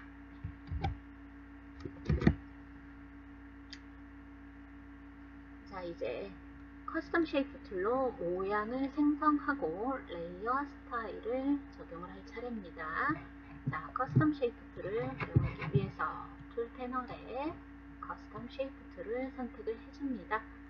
자, 먼저 왼쪽 상단에 모양을 그리도록 하겠습니다. 자, 이 형태는요, 어디에서 찾아주시면 되겠습니까? 자, 위에 옵션에서 여러분 적용을 하겠습니다. 자, 말풍선이죠? 그죠? 네. 그래서 말풍선 형태는 Talk Bubbles에서 찾으시면 되겠습니다. 이때 여러분, 여기에서 경로 찾아 들어오는 건 다 아시겠죠? 그리고 여기에 Legacy Shapes and More가 없을 때는 어떻게 하는지 어, 1번 문제 풀이에서 언급을 했습니다. 참고해서 진행해 주시면 되겠습니다. Talk Bubbles 이렇게 해서요. 자, 이 형태를 보시는데 방향이 어때요? 꼬리, 모, 꼬리 부분이 방향이 다르죠? 일단 그려주십시오. 그립니다. 그래서 그려주시면 되겠고요. 자, 그런 다음에 레이어 패널에서 해당 레이어의 썸네일을 더블 클릭해줍니다. 그리고 여기에서 어, 제시된 색상 코드를 입력을 해주시는 게 훨씬 더 편리하실 거예요. 물론 옵션에서 미리 설정하고 들어오셔도 되겠습니다. 그래서 그렸습니다. 그리고요. 어떻게 하셔야 되겠어요? 방향. 뿌리 방향이 다르기 때문에 어떻게 해주세요? 네. 이거를 T를 눌러서 마우스 오른쪽 버튼을 누르고 슬립 허리젠탈 클릭해 주시면 되겠습니다. 이때 크기, 배치 다시 한번 살펴봐 주시면 되겠습니다.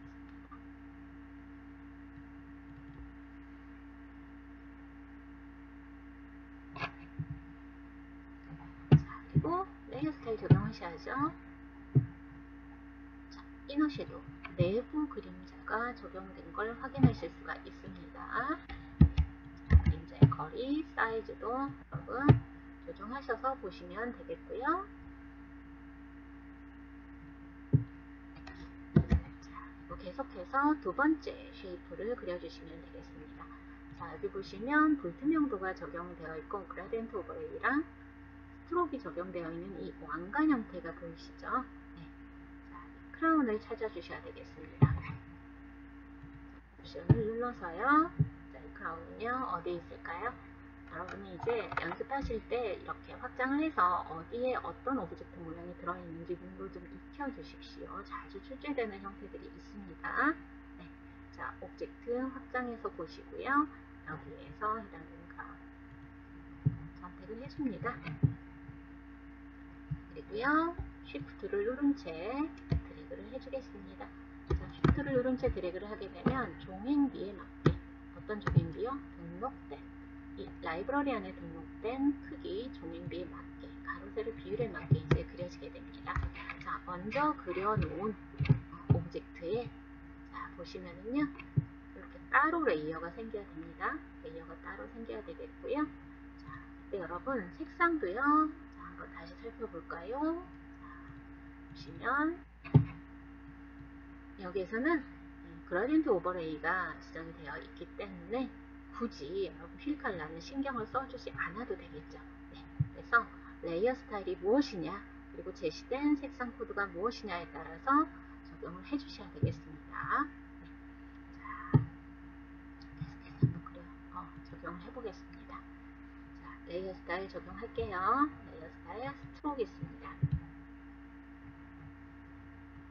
Stroke 사이즈는 4픽셀이 되겠고요. 단일 컬러일 때 Color Picker 띄우셔서 색상, 코드값 입력을 해주시면 되겠습니다. 자, 그리고 Gradient, Gradient Overlay를 클릭을 합니다. 자, 이때 체크박스에만 체크하지 마시고 이렇게 용어 자체에 클릭을 하셔야 오른쪽에 설정을 바꾸실 수가 있습니다. 좀 주의하시고요. 자, Gradient Editor를 띄우겠습니다. 왼쪽 Color Stop 더블 클릭해줍니다.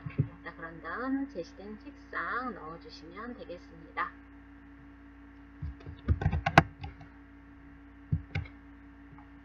자, 오른쪽 Color Stop 위치 바꿔주시고 더블 클릭해줍니다.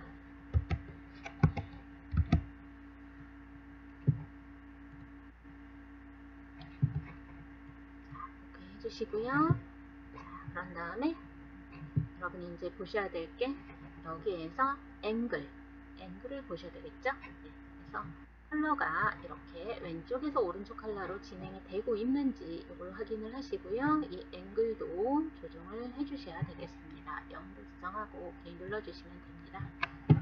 자, 그리고요. 불투명도 조정하기 위해서 레이어 패널 상단에 Opacity 클릭하고요. 70%로 적용을 해주시면 되겠습니다. 자, 그리고 출력 형태 참조하셔서 Control T 눌러서요. 이렇게 회전을 해주시면 되겠네요. 시계 방향으로 회전해 주십니다. 그리고 이 형태의 가장자리 이 부분에 배치를 해주시면 되겠고요. 자, 이때 크기도 다시 한번 Shift 눌러서 조정을 해주시면 되겠습니다.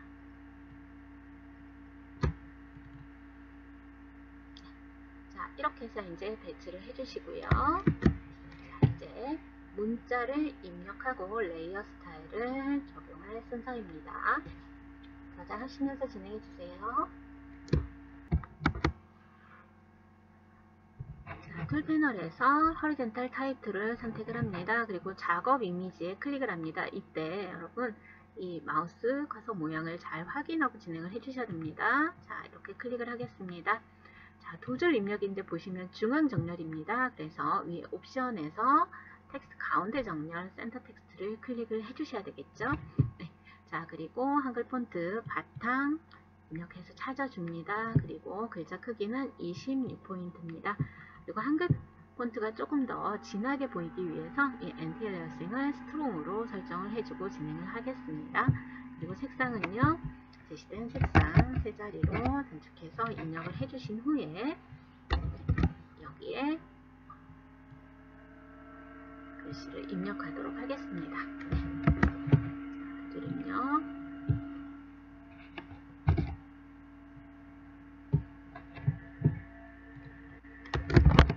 아래쪽에 배치가 돼서 안 보였던 거예요. 네. 자, 이렇게 해서 글씨를 입력을 해주시면 되겠고요. 자, 보시면 글자의 속성 보시면 하단에 자연식단 부분을 따다닥 해서 세 번 클릭합니다.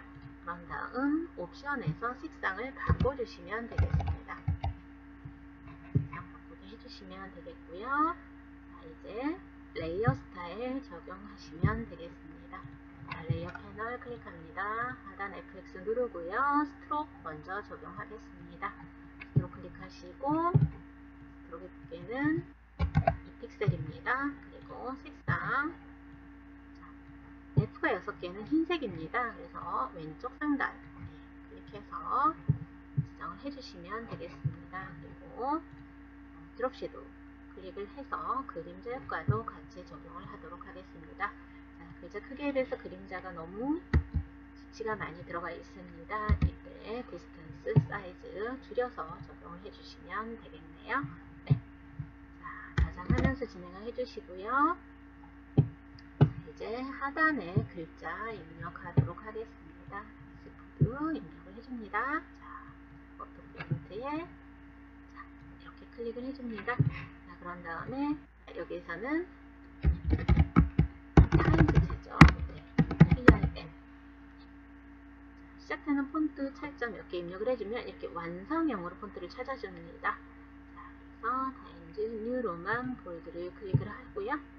여기에 글자 크기는 55 포인트를 지정을 합니다. 그리고 Gradient Overlay가 적용이 되어 있기 때문에 색상은 굳이 여러분이 신경을 쓰지 않아도 됩니다. 네. 자, 이렇게 블럭이 잡혀 있을 때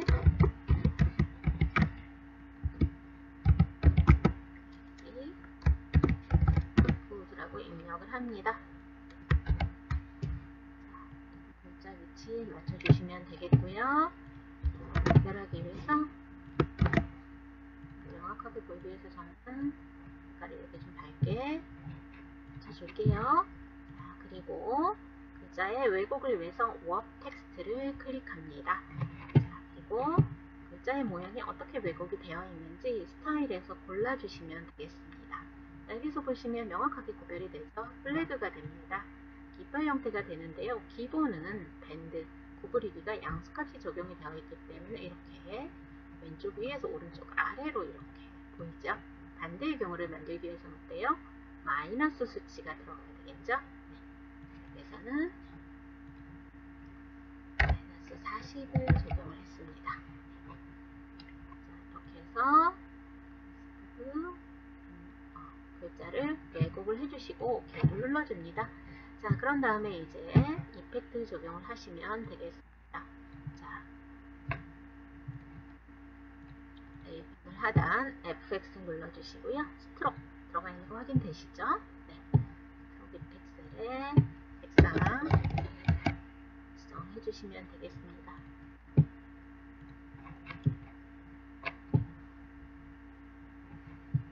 그리고 Gradient Overlay 클릭합니다. 그리고 색상 편집하기 위해서 Gradient Editor 띄워주시면 되겠고요.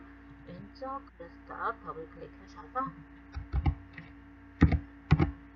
숫자리 다 입력 안 하셔도 돼요. 단축해서 세 자리로 적용을 하시면 되겠습니다.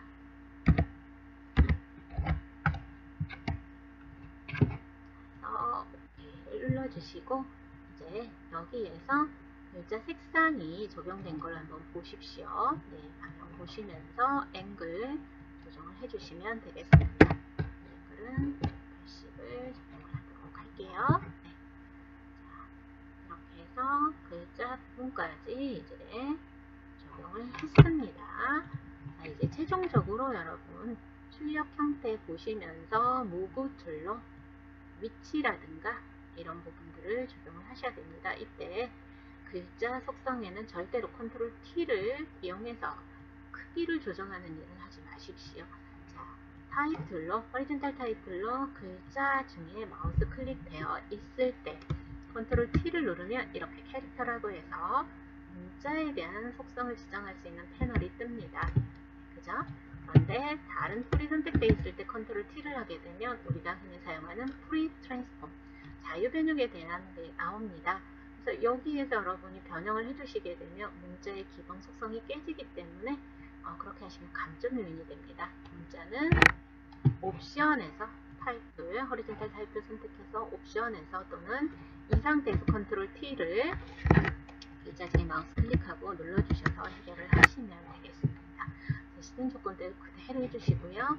그 외에는 이제 이동 도구 Move Tool을 사용해서 여러분이 위치를 지정을 하신다거나 어, 이런 부분들을 이제 마무리 단계에서 한 번 더 봐주시는 거죠. 그리고 해당되는 이미지에 적용할 레이어 스타일이 동일하게 들어갔나 자, 이 부분도 여러분이 확인을 해주시면 되겠습니다. 최대한 출력 형태랑 동일하게 맞춰주시고요. 자, 최종적인 저장 해 주시고 자, 격자 가리기 해주겠습니다. 자, 그런 다음에 이제 정답 파일을 감독 PC로 전송할 수 있는 상태 경로 파일 형식 지정을 해주셔야 되겠죠. GTK 포토샵은 어, 문제 하나당 두 개의 파일을 저장을 하셔야 됩니다. 먼저 JPEG 저장하겠습니다. 확장자 바꿔서 저장하기 위해서 우리가 흔히 사용하는 Save As를 클릭합니다. 자, Save As 다른 이름으로 저장해서 지금 작업하고 있는 건 원본을 저장하고 있는 거다 생각하시고요. 이제 비로소 정답 파일을 저장할 거예요. 어디에요? FPC 문서에. 어디에요? GTQ 폴더에. 자, 이곳에 저장을 하실 거예요. 먼저 JPEG으로 저장합니다. 자, 우리 교재 포토샵 CC 2020인데요. 버전에 따라서 Save As의 파일 형식의 JPEG을 아무리 찾아봐도 보이지 않는 경우들이 있어요. 자, 이럴 때는 자, 여기 대화 상자에 어, 세이브 카피 경 사본 저장이 있습니다. 또는 파일에서 세이브 카피로 바로 들어가셔도 파일 형식 바꿔주시면 바로 파일 이름 뒤에 .jpg라고 붙습니다. 이때 수험번호, 성명, 번호 맞나, 문제 번호 맞나 확인하신 후에 저장 버튼 눌러줍니다. JPEG은 옵션이 뜹니다. 자, 여기 옵션의 Quality를 High Quality로 지정을 하시면 되겠습니다. 오케이 눌러줍니다. 자, 첫 번째 파일 형식으로 저장을 했고요. 이제 이미지 크기가 10분의 1로 줄어든 상태를 저장하실 거예요. 자, 이미지 사이즈 조정하셔야 되죠. 이미지 메뉴, 이미지 사이즈 클릭합니다. 자, Width와 Height가 서로 이렇게 연결이 되어 있을 때, 자, 위스 60 조정하면 Height도 40으로 자동으로 조정되는 거 확인되시죠? 더불어 10분의 1로 줄어들어서 이렇게 보입니다. 자, 레이어를 보존한 채 포토샵 포맷으로 저장하기 위한 방법입니다. 자, 이렇게 하시고요. 어디요? Save As를 통해서 어디에 답안을 전송할 경로 찾아주셔야 되겠죠? 자, 이 경로에 이 이름으로 저장하지 않으면 답안 파일이 전송되지 않습니다. 뭐 오타가 있거나 경로가 다르거나 파일 형식이 다르면 전송되지 않으니까요. 자, 불이익을 당하지 않기 위해서 정확하게 체크를 하셔야 되겠습니다. 자, 이 상태에서 저장 한번 하시면 3번 문제 마무리가 되겠습니다. 문제 하나하나 저장, 정답 파일 저장을 했으면요. 바탕화면에 답안 전송 프로그램 활용하셔서 바로바로 바로 전송하시고 마무리 단계에서 다시 한번 전송하시면 안정적으로 전송이 되겠습니다. 자, 3번 문제 풀이는 여기까지 해서 마무리하겠습니다. 수고 많으셨습니다. 감사합니다. 안녕하세요 여러분 반갑습니다. GTQ 포토샵 저자 일마입니다. 이번 시간에는 GTQ 포토샵 2급 4번 문제 풀이를 진행해 보도록 하겠습니다. 4번 문제는 어, 이벤트 페이지 제작이 되겠는데요. 배점은 35점입니다. 꽤 높죠? 네. 그리고 활용하는 이미지는요. 자, 원본 이미지는 내 PC 문서 GTQ 안에 이미지 폴더를 열어서 해당되는 이미지 어, 불러오고 진행을 하셔야 됩니다. 2급-9번부터 13번 총 5개의 이미지를 활용해서 작업을 진행을 하게 됩니다. 자, 그리고요. 완성 형태 보시면은요. 출력 형태는 화면에서 보시는 바와 같습니다. 네. 자, 여기에서 이제 그림 효과는요. 어, 배경에 파스텔 효과, 러프 파스텔 효과 적용되어 있는 거 확인되시죠? 네, 그리고 나머지 이미지들은 어, 출력 형태 참조하셔서 선택을 해서 변형을 통해 화면에 배치를 하고 각각 layer style 및 opacity, 불투명도도 적용이 되어 있는 걸 확인하실 수가 있습니다. 그리고 clipping mask가 적용된 걸 확인하실 수 있죠. 네, 여기에 shape 안에 clipping mask 적용이 되어 있습니다. 이미지가 이 custom shape 모양 안에 이렇게 잘려져서 들어가 있는 상태를 확인하실 수가 있습니다. 물론 clipping mask 되어 있는 이미지 또한 필터가 적용되어 있는 걸 확인하실 수가 있겠고요. 그래서 4번 문제 필터 두 개 이미지에 적용됩니다. 네.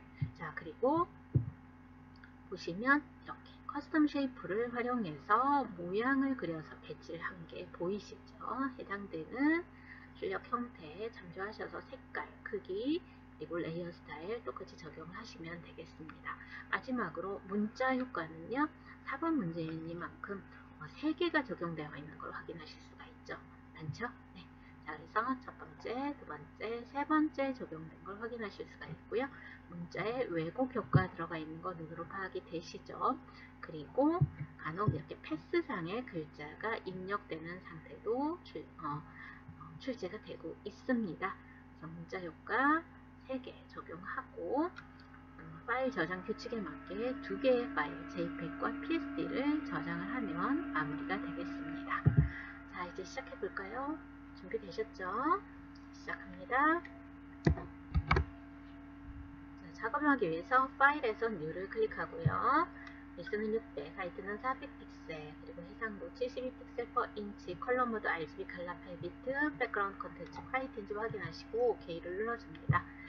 그런 다음에 컨트롤 R 누르셔서 이렇게 눈금자 보기 해주시고요. 격자 보기, 그리드 보기도 해주시면 되겠습니다. 우리 교재 그리드는요. 100픽셀당 하나씩 그리드가 표시가 되게끔 환경 설정에서 지정을 해줬습니다. 자, 이 부분은 교재 참조해서 진행하시면 되겠고요. 자, 이제 해당되는 이미지 불러서 적용을 하도록 합니다. 자, 이런 식으로 이미지 오픈을 해놨고요. 2급-9번은요, 배경에 적용이 될 거고, rough pastel을 적용을 할 겁니다. 자, 그래서 전체 선택을 하고, 컨트롤 A, 컨트롤 C를 하시고요. 자, 그 다음, 작업 document로 붙여넣기 컨트롤 V 하시면 되겠습니다. 네, 그 방법 쓰셔도 되겠고요. move tool로 drag and drop 해서 적용하셔도 되겠습니다. 자, 컨트롤 T 해서 자, 대부분 크기 조정하는 걸로 나오는데요. 이제 여러분 이렇게 어, 제공된 원본 이미지 보시면은요. 크기 조절하지 않고 위치만 이렇게 맞춰주는 문제들도 종종 있습니다. 그래서 출력 형태 보시고 자 위치 맞춰주시면 되겠습니다. 자 필터 적용에 앞서서 저장을 하겠습니다. 자 layer를 하나 추가해 놓은 상태에서 컨트롤 S를 누르시면요. 이렇게 확장자는 따로 지정하지 않아도 포토샵 포맷으로 나오는 걸 확인하실 수가 있습니다. 처음부터 정답을 전송할 위치에 저장하지 마시고요. 원본을 작업하고 이, 이 원본이 완료가 됐을 때 JPG와 10분의 1 사이즈로 줄어든 PSD 두 개를 각각 저장을 하셔야 됩니다. 그래서 운동을 피하기 위해서 여러분 이메일 경로에 원본을 저장을 해주십시오. 저는 바탕화면을 하고 있습니다. 네. 자, 저장 규칙에 따라서 파일 이름도 설정을 해주시고요. 뒤에 .psd는 붙여주지 않으셔도 파일 형식을 지정하면 되겠습니다. 네, 저장 버튼 눌러서 이렇게 title bar에 제목이 바뀌었나 확인하신 후에 작업 진행하시면 되겠습니다. 자, 그리고 필터 적용하겠습니다. 자, 필터 rough pastel은요, 필터 메뉴 눌러서 filter gallery를 클릭해야 합니다. 자, rough pastel은요, artistic에 있습니다. 보시면 rough pastel, 거친 파스텔 효과 적용하겠다. 오케이 눌러서 파스텔 효과를 적용을 해주시고요. 필터 적용 전후에는 반드시 save 컨트롤 S를 눌러주십시오. 어, 컨트롤 S 눌렀는데 대화 상자 안 뜨는데요. 라고 생각하시는 분들 계실까요? 처음에 저장했기 때문에 그 위치에 그 이름, 그 확장자로 계속 덮어 씌우기가 되고 있습니다. 자, 이제 2급-10번 이미지를 열어서 자, 여기에서 해당되는 이미지 선택하시면 되겠습니다. 자, 다양한 선택 도구를 활용할 수 있는 기능을 측정하기 위해서 이렇게 배경이 단조로운 단색일 때 이미지를 저장하는 방법을 측정하는 원본도 제시가 되고 있어요. 자, 이때는요. 선택하고자 하는 이미지보다 배경색이 단조로워요. 그러면 선택을 반전하는 방법을 생각을 하셔야 됩니다. 특히나 이렇게 깔끔한 흰색일 때는 매직원들을 활용을 해주십시오. 자, 마술봉입니다. 자, 이 매직원들은요. 클릭을 하게 되면 이렇게 그죠? 자, 보시면 이렇게 선택하고자 하는 이미지에 클릭했을 때는 이 색상이라든가 음영 때문에 선택이 깔끔하게 한 번에 되지 않습니다. 자, 배경을 클릭을 하는데요. 이때 옵션을 하나 살펴보도록 하겠습니다. 자, 저는 지금 옵션을 초기화를 해놓은 상태입니다. 옵션의 초기화는요. tool 선택하시고 option bar에 tool 모양의 마우스 오른쪽 버튼 눌러서 reset all tools 하시고 오케이 해주시면 되겠습니다. 어, 당연히 설정대로 했는데 엉뚱한 결과가 나와요 라고 당황하는 경우들이 종종 있습니다. 그 경우들을 이렇게 거슬러 올라가서 파악을 해보면 옵션 때문에 그러는 경우들이 꽤 많습니다. 특히 시험장에서는 알고 있는 것도 당황하게 되면 눈에 안 보입니다. 그래서 이때를 대비해서 반드시 여러분 문제풀이 하기 전에 어, 시험 보기 전에 문제 작성에 앞서서 이렇게 reset all tools를 먼저 진행을 하고 해주시면 좋겠습니다. 자, 팁으로 말씀드리는 거니까 꼭 기억해 두셨다가 진행해 주십시오. 자, 플러스 한번 보도록 하겠습니다. 자, 여기 보시면 anti-alias 이 tolerance는 허용 범위가 되겠습니다. 그래서 수치가 클수록 선택을 더 많이 해주는 겁니다. 흰색 범위 지정을 하는데요. 자, 자, 보시면은요, 이 가운데 중간에 끼어있는 부분 보이시죠? 그죠? 네, 이 부분까지도 깔끔하게 선택을 하기 위해서 자, 풀고요. 여기 컨티기어스라고 해서 인접에 기본적으로 체크가 되어 있는데 해제를 하고 제가 흰 배경을 똑같이 클릭을 해보겠습니다. 자, 그리고 확대해서 보니까 어때요? 좀 전에 기본에서는 선택이 되어 있지 않은 이 중간에 갇혀 있는 이 공간도 어때요? 지금 선택을 해주는 걸 확인하실 수가 있죠. 물론 흰색 하이라이트 부분에 이 이미지가 많이 노출이 되어 있다라고 하실 때는 이땐 tolerance도 줄여줘야 되는 예제들도 있습니다. 이 경우도 확인하셔야 됩니다. 네. 자, 이렇게 하셔서 배경을 선택했고요. 우리는 선택을 뒤집어야 되죠. 자, 선택을 뒤집는 명령어는 select 메뉴 누르시면 inverse 있습니다. 이것도 자주 사용하는 단축키니까 Shift Ctrl I, inverse의 I 기억하셔서 이렇게 외워 두십시오. 네. 자, 그리고 복사해서 작업 이미지에 가져와 배치를 하시면 되겠습니다. 자, 배치를 했고요. layer 추가하면 반드시 무조건 Ctrl S를 눌러 주십시오. 자, 그리고 여러분 여기 보시면은요. 배경 위에 배치가 되고 있는데 보십시오. 방향 다르죠? 크기 다르죠? 네. 자, 그러면 컨트롤 T를 당연히 해주셔야겠죠. 자, 방향 먼저 바꿔주도록 하겠습니다. 컨트롤 T 하고 마우스 오른쪽 버튼 눌러서 Flip Horizontal 가로로 먼저 뒤집어 주실 거고요. 그 다음에 회전을 해서 배치를 맞춰 주실 거예요. 이때 가로, 세로, 종횡비, 뮤스, 하이트 사이에 이 체인 모양 클릭해서 고정을 해 두시고요. 자, 한쪽 수치만 이렇게 조정을 하셔도 크기가 종횡비에 맞게 종횡비에 맞게라는 건 가로, 세로 비율이 맞는다는 거죠. 그죠? 납작해지거나 길쭉해지지 않습니다. 자, 그래서 이렇게 조정을 해주시면 되겠고요. 자, 그 다음에 쉬프트 눌러서 드래그 하는 거랑 같은 결과입니다. 자, 그리고 회전값을 조정해서 배치하도록 하겠습니다.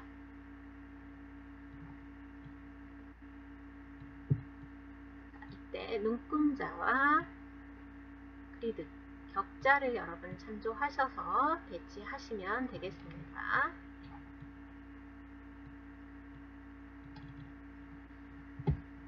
클릭해서 완료하시면 되겠고요. 저장 수시로 하면서 진행해 주십시오. 자, 여기에 layer style 적용하도록 하겠습니다. layer panel 확장하시고요. 하단 FX 눌러서 해당되는 layer 지정하시면 되겠습니다. 여기서는 Inner Glow가 되겠습니다. 내부 광선이 됩니다. 자, 미리 보기 preview 체크되어 있으니까 확인하시면서 출력 형태와 동일하게 자, 세부 설정 맞춰주시면 됩니다. 여기에서 Elements의 사이즈를 줄여서 그리고 그림자 효과와 같이 적용되는 거 확인할 거예요. Drop Shadow 클릭해 주시고요. 자, 그림자는 좀 더 사이즈와 distance는 좁도록 하겠습니다. 자, OK를 눌러줍니다. 자, 저장 컨트롤 S 누르면서 진행을 해주시고요. 자, 이제 다음 이미지 선택해서 가져오도록 하겠습니다.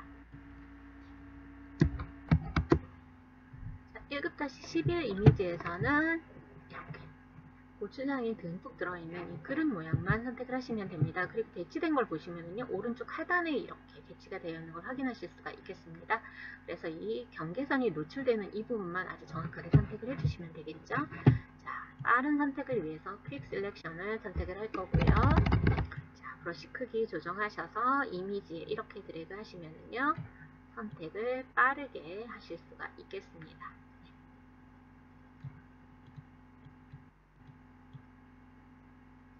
부분은 클릭만 해도 이렇게 선택이 되는 걸 확인하실 수가 있어요. 자, 브러쉬 크기도 조정을 해주시면서 진행을 할 거고요. 자, 이때 여러분 옵션을 보시면 이렇게 Select and Mask가 있습니다. 자, 이 곳에서 여러분이 세부 설정을 좀 조정을 하시면 조금 더 선택을 어, 매끈하게 해주실 수가 있습니다. Radius 1픽셀을 지정하고 미리 보기를 통해서 이렇게 확인을 해주시면 되겠습니다. 물론 여기에서도 이 도구 사용하시고 옵션을 사용해서 선택을 추가하거나 빼거나도 가능합니다. 자, 제공된 원본 이미지에 따라서 사용을 할 수도 있고 안 할 수도 있습니다. 자, 여기서는 Radius만 1로 지정하고 OK를 눌러서 선택을 조금 더 매끈하게 지정을 했습니다. 자, 그런 다음에 컨트롤 C를 하고요. 작업 이미지 컨트롤 V로 붙여넣기를 하시면 되겠습니다. 출력 형태에 참조해서 크기, 위치 지정을 하도록 하겠습니다. 자, 컨트롤 T를 눌러줍니다. 자, 작업에 일정한 루틴이 있죠. 그죠? 네, 선택하고 가져와서 컨트롤 T.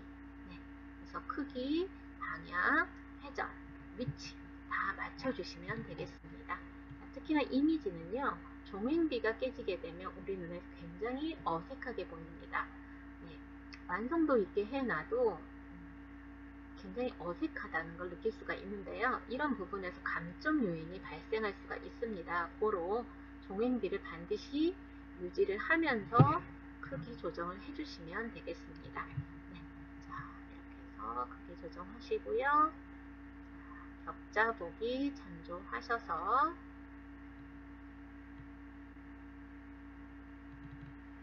배치하도록 하겠습니다. 자 보시면은요. 자 아래쪽에 배치가 돼야겠죠. 이거를 왼쪽 계단을 눌러서 배치를 아래로 내려주시면 되겠습니다. arrange는 이렇게 맞춰주시면 되겠고요. 자, 여기에 layer style 적용을 해봅니다. FX 눌러서 Bevel and Emboss입니다. 좀 더 입체감 있게 보이기 위해서 Bevel and Emboss 10 지정하고 OK를 눌러주시면 되겠네요. 네. 아, 그리고 계속해서 Drop Shadow도 적용이 되어 있습니다. 그림자 효과. 이렇게 레이어 스타일이 두 개로 같이 중복 적용되어 있는 경우들이 꽤 많죠. 네, 그림 효과에 제시되어 있으니 그대로 적용을 하시되 여러분이 이제 적용하실 때 보시면은요. 그래서 이런 식으로 되어 거는 use global light라고 해가지고요. 체크가 되어 있을 때 어, 이미 적용되어 있는 그림자 효과에 대해서도 앵글이 같이 바뀌는 걸 확인하실 수가 있어요. 어, 만약에 별도로 따로따로 적용을 하겠다 할 때는 이 checkbox를 풀고 적용을 하시면 되겠습니다. 이것도 참조해 주시고요. distance 사이즈 조정하신 후에 OK를 눌러주시면 layer style이 적용이 되겠습니다. 자, 이제 왼쪽 상단을 보시면 clipping mask가 적용이 되어 있는 부분이 있죠. 네. 자, 이 모양을 먼저 만들어 줄 거예요. 자, 구름 모양이죠. 네, 구름 모양을 찾아줍니다. tool panel에 Custom Shape Tool을 선택합니다. 그리고요. 옵션에서 여러분이 모양을 찾아주셔야 되겠죠. 자, 구름 형태 역시 네이처에 있습니다. 네이처에서 구름 모양 선택합니다.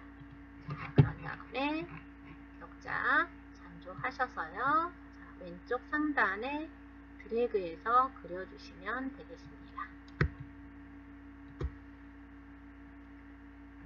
자, 그리고 여기 클리핑 마스크가 적용이 되어 있는 상태고요. 여기 오피스티가 적용이 되어 있습니다. 그래서 여기에 그려진 구름 모양의 네, thumbnail을 더블 클릭하셔서 색상을 제시된 색상으로 넣어줍니다.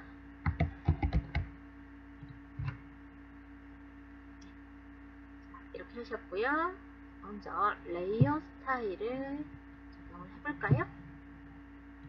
자, layer panel 하단에 FX 눌러서 Stroke 탭을 먼저 지정을 하겠습니다. Stroke는 5픽셀 지정할 거고요. 이때 여러분 보시면은요, 이 포지션도 중요합니다. Outside 바깥쪽으로 이 두께 값이 지정이 돼서 표시가 된다는 겁니다.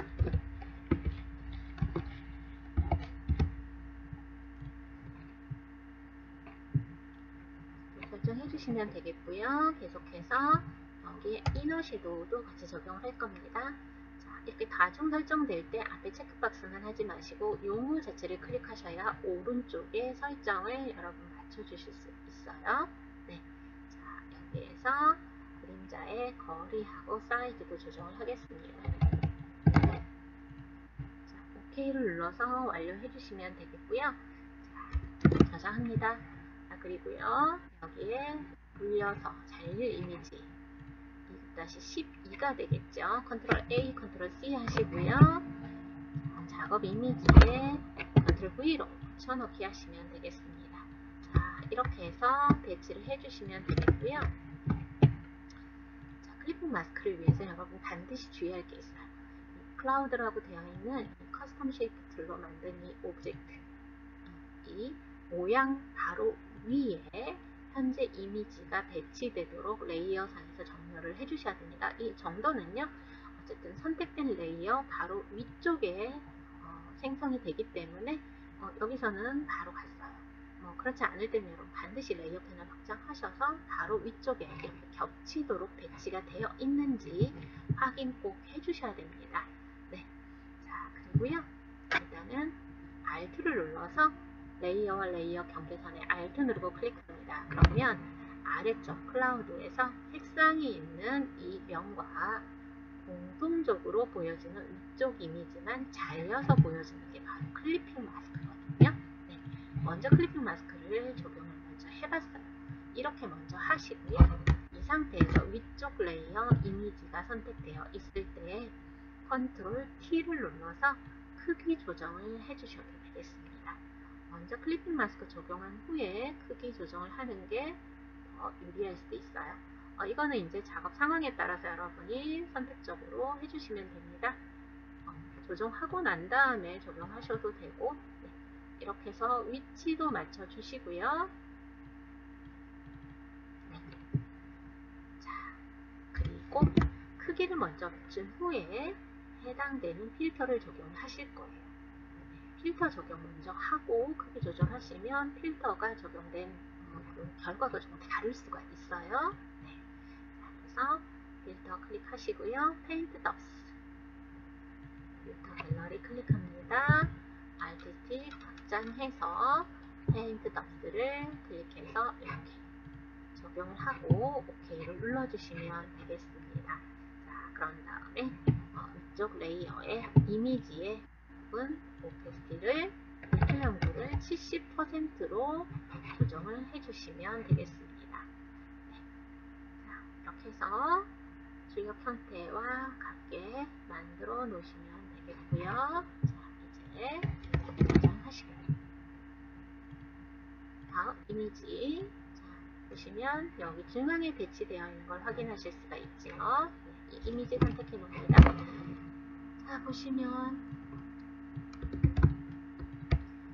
선택이 쉽게 호락호락하게 원본 이미지가 제공되지는 않습니다. 보시면 앞선 이미지에서 여러분들이 잎사귀 모양을 선택했을 때처럼 흰 배경에 있으면 얼마나 좋겠습니까? 그런데 이렇게 그림자를 계속 방해 요소들이 있다는 거죠. 자, 이때는 Quick Selection으로 어, 다행히 배경하고 명확하게 구별되는 색상이죠. 네, 그래서 홍보초 부분을 먼저 Selection을 이용해서 선택을 먼저 해주도록 하겠습니다. 어, 쉽게 선택이 되죠? 자 이제 이 줄기 부분을 선택을 해야 됩니다. 이때는요 브러쉬 크기를 조정을 해서 줄여주도록 하겠습니다. 네. 제가 해보니까 브러쉬 크기 3 정도일 때 가장 잘 됩니다. 네. 이미지 따라 이거는 달라질 수 있으니까요. 제공 이미지 따라 여러분 이 부분은 여러분 해보시고 진행하시면 되겠습니다. 우리 이미지 2-13은 그렇습니다. 그리고 Quick Selection은 옵션에서 Add to Selection으로 자동으로 전환이 되어 있는 걸 확인하실 수가 있어요. 그래서 자 이렇게 줄기 부분에 제가 그냥 클릭만 했는데도 이렇게 비슷한 색상으로 고추 줄기가 되어 있기 때문에 선택이 굉장히 또 수월하게 되죠. 네. 해주시면 되겠고요. 이미지 확대하셔서 혹시 선택에서 빠지는 부분이 있어야 된다 라고 하시면 원본 이미지 참조하셔서요. 이런 부분들도 좀 더 수정을 해주시고 진행하셔도 되겠습니다. 자, 그리고 C, Ctrl V로 작업 이미지에 배치를 해주시고요. 저장 먼저 하시는 거 잊지 마십시오.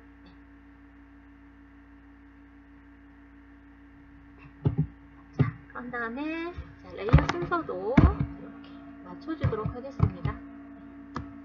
보시면은요, 지금 Clipping Mask가 적용이 되어 있어서 바로 이렇게 나오고 있는데요.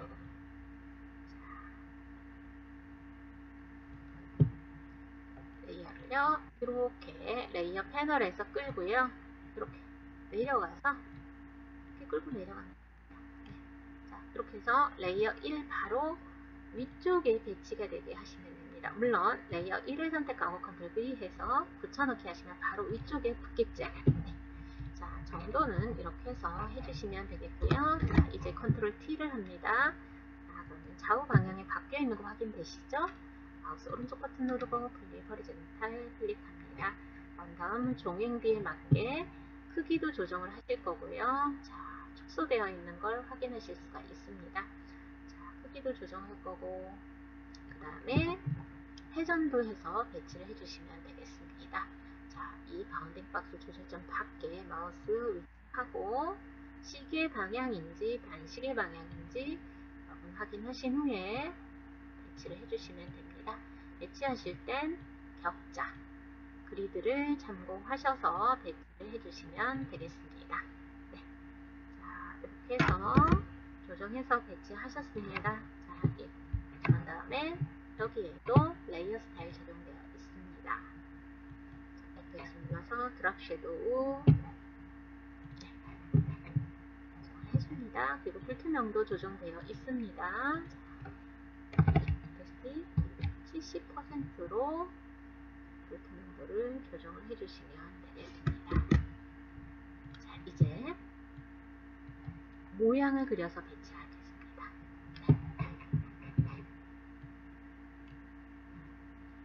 Custom Shape Tool을 선택합니다.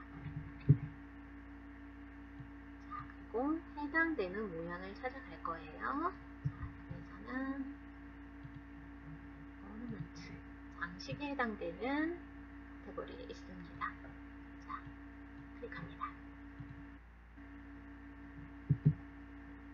그리고요. 지금 회전이 되어 있는 상태인데요. 일단은 Shift를 누르면서 드래그 할때 Shift를 나중에 눌러주세요. 그래서 큼직하게 크기를 그려서 배치를 해주겠습니다.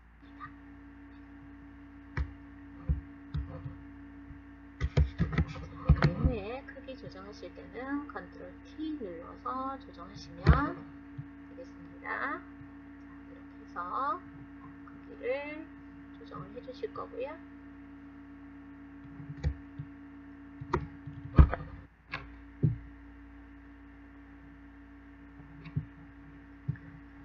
자, 여기도 Layer Style Gradient Overlay가 되어 있기 때문에 이 모양의 기본적인 Fill Color는 신경 쓰지 않아도 되겠습니다. 사각형 형태를 유지해야 되니까 Shift를 꾹 누른 채로 모양을 그리시고 마우스에서 손을 먼저 떼고 키보드는 나중에 떼주시면 되겠습니다. 자, Layer Style 적용하도록 하겠습니다. Layer 패널 하단에 F 눌러서 Inner Shadow 클릭합니다. 지금 검정이니까 Inner Shadow 효과는 지금 보이지는 않을 거예요. 그죠? 네. 조정을 해주시고요. Gradient Overlay 클릭하겠습니다. Gradient 편집하기 위해서 에디터를 띄워줍니다. 그리고 왼쪽 Color Stop 더블 클릭합니다. Color Picker에서 해당되는 색상 자, 두 자리씩 단축돼서 총 6자리를 세 자리로 입력을 하시면 되겠습니다. 자, 오른쪽 스펙터 더블 클릭합니다. 자, 오케이 눌러주시고 그리고요. 여기서 이제 색상 여러분 좌우 색상이 어떻게 배치가 될 것인지를 확인하셔서 아래 스타일 Linear 앵글은 180도를 지정을 할 거고요. 자, 이때 이제 스케일을 여러분 한번 조정을 해봅니다. 기본적으로 100%지만 스케일을 조정을 하시면은요. 네. 기본 100%일 때는 좌우 Color Stop의 색상에 충실하게 그 Location에 따라서 잘 중간 단계가 표현이 되는 거고요. 자, 이 표현 단계를 조금 더 널찍하게 배치를 하고 싶다 할 때 이 스케일을 조정을 해주시면 되겠습니다. 예제에서는 150%로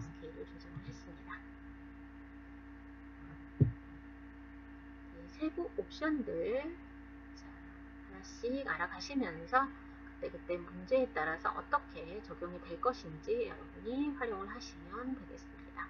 네. 자, 이렇게 하시고요. 여기에 오피스도 70%로 미리 교정을 하겠습니다. 그리고요. 컨트롤 T를 눌러서 회전을 해주시면 되겠네요.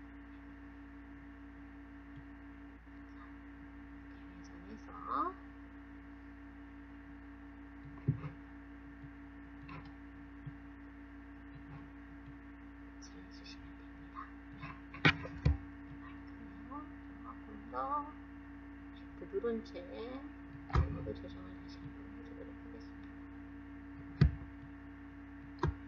자 그리고 정돈도 해주셔야 되겠죠? 자, Layer에서 Layer의 순서도 정돈 과정이 필요합니다. 그래서 해주고 회전해서 배치를 하셨죠? 네.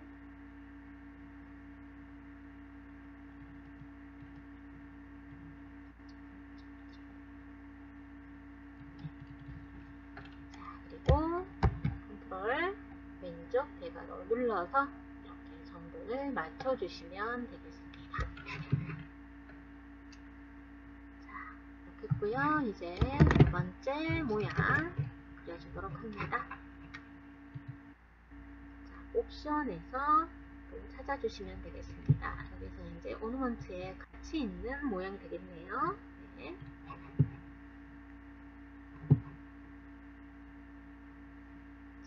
드래그 하면서 네, Shift 눌러줍니다. 자, 처음부터 Shift를 눌러주게 되면 어떻게 되냐면 먼저 그린 먼저 그린 Shape Layer에 같이 그려집니다. 자, 그러면 따로따로 색깔이라든가 Layer Style 적용을 못하거든요. 네, 그래서 단일로 이렇게 독립적인 Layer가 될 수 있게끔 드래그 할 때 Shift 눌러서 이 등록된 라이브러리 안에 지금 미리 보기와 같이 종횡비 유지하면서 그려줄 때는 Shift 눌러주시는 겁니다. 아시겠죠? 네. 자, 이렇게 하시고요. 색상, Layer에 Thumbnail. 자, Custom Shape로 만들어진 Layer Thumbnail은 일반 이미지 Thumbnail하고는 조금 다르게 보입니다. Thumbnail을 더블 클릭해서 여기에 색상을 지정을 해주시면 되겠습니다. 맨 앞으로 가져오게 해줄게요. 자, 그리고요. Control T를 눌러서 반시계 방향으로 회전을 하겠습니다. 자, 이때 Shift를 누르고 회전을 하시게 되면요. 이런 식으로 스냅이 축축 걸립니다. 자, 보시면은요. 이제 tooltip으로 이렇게 마우스 포인터 옆에 보여지죠. 네. 15도 단위로 스냅이 걸려있는 걸 확인하실 수가 있습니다. 자, 대체로 45도 단위인데 포토샵에서는 15도 단위로 스냅이 걸립니다. 자, 그리고 아울러 위에 옵션에도 이렇게 앵글이 표시되는 걸 확인하실 수가 있겠죠. 네. 자, 이렇게 해서 자, 회전해서 배치해줍니다.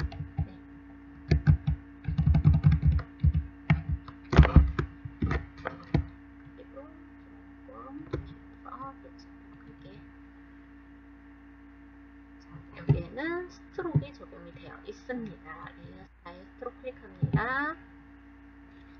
문제지에서 제시된 대로 Stroke의 사이즈 그리고 색상도 지정을 해주시면 되겠고 간혹 옵션이 포지션이 달라서 여러분 이렇게 Inside로 된다거나 Center로 됐을 때는 출력 상태가 달라질 수 있습니다. 이 부분 잘 하셔서 포지션 대체로 Outside 외부에 외곽으로 되어 있는 걸 확인하실 수가 있습니다. 자, 오케이 눌러줍니다. 자, 여기까지 해서 이제 모양까지 완성이 됐습니다. 세이브 컨트롤 S 수시로 눌러서 진행을 해주시고요. 자, 이제 문자 효과 적용하겠습니다. 총 3개의 문자 효과가 있는데 이 문제에서는 두 개에는 원 텍스트가 적용이 되어 있고 하나에는 어때요? 패스를 따라 흐르는 문자를 입력을 해주시면 되겠습니다. 자, Horizontal Type를 선택합니다. 작업 이미지에 클릭합니다. 자, 입력에 앞서 옵션을 먼저 설정을 하겠습니다. 물론 입력한 후에 조정을 하시는 방법도 있어요. 네. 자, 클릭해서 이렇게 텍스트 미리 보기가 되어 있을 때 제시된 문자 속성 자, 영문 입력 모드에서 폰트의 이름, 철자, 시작하는 철자 몇 개 입력하시면 이렇게 완성형으로 아래 힌트가 보여집니다. 자, Arial Bold입니다. 그리고 글씨 크기는 30 포인트를 지정을 하시면 되겠습니다. 여기에 Gradient Overlay 적용이 되기 때문에 색상 신경 쓰지 않으셔도 되겠습니다. 자, 그래서 글자 입력을 해주시고요. 네, 왜곡을 먼저 해줍니다. Warp Text를 옵션에서 클릭을 합니다. 자, 여기서 보시면 이렇게 깃발 형태로 변형이 된 걸 확인하실 수가 있죠. 네, 그래서 스타일 누르시고 Flag Bend 50%로 지정을 하시면 되겠습니다. Layer Style 바로 적용할게요. Layer FX 누르시고요. Stroke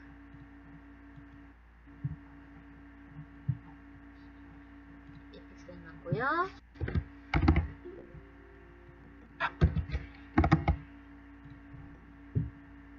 제시된 색상 코드 입력을 해주시면 되겠습니다. 그리고 Gradient Overlay 클릭을 합니다. 영역 자체를 클릭해서 오른쪽 옵션이 보이면 이때 이 옵션에서 Gradient Editor를 띄워서 색상 조정하시면 되겠습니다. 왼쪽 Color Stop 더블 클릭해서 색상 입력해 주시고요. 오른쪽 Color Stop 더블 클릭해서 제시된 색상 값 입력을 해주시면 되겠습니다. 오케이 눌러서 사용하시고요. 자, 여기에서 이제 여러분 스타일, 리니어 그리고 색상 자, 단계 한번 보십시오. 영도가 되겠고요. 컬러가 좌우 색상 충실하게 중간 단계까지 다 표현이 돼야 되기 때문에 여기서 스케일은 다시 100%로 맞춰주도록 하겠습니다. 앞서에서 앞서 150%로 지정된 게 그대로 남아있으니까요. 100%로 맞춰주시고 자, OK를 눌러서 적용을 하시면 되겠습니다. 스위치 조정을 해주시면 되겠고요. 자, 그리고요.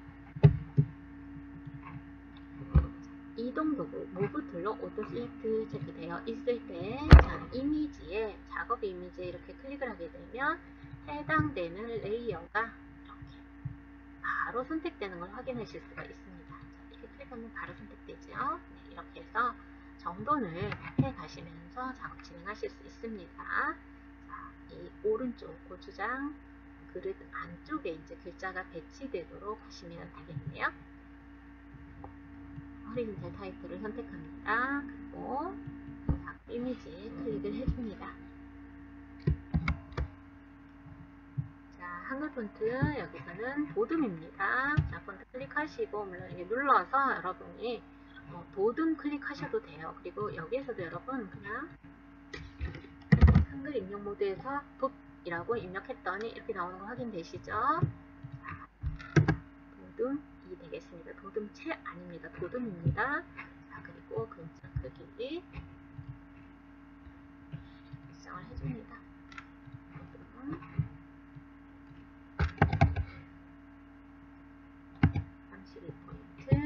한글은 볼드가 따로 없기 때문에 엔젤 레슨에서 스트롱으로 지정해서 조금 더 진하게 보이도록 해주시면 좋겠습니다. 자 그리고 색상 영문 입력 모드에서 입력하셔야 됩니다. 자,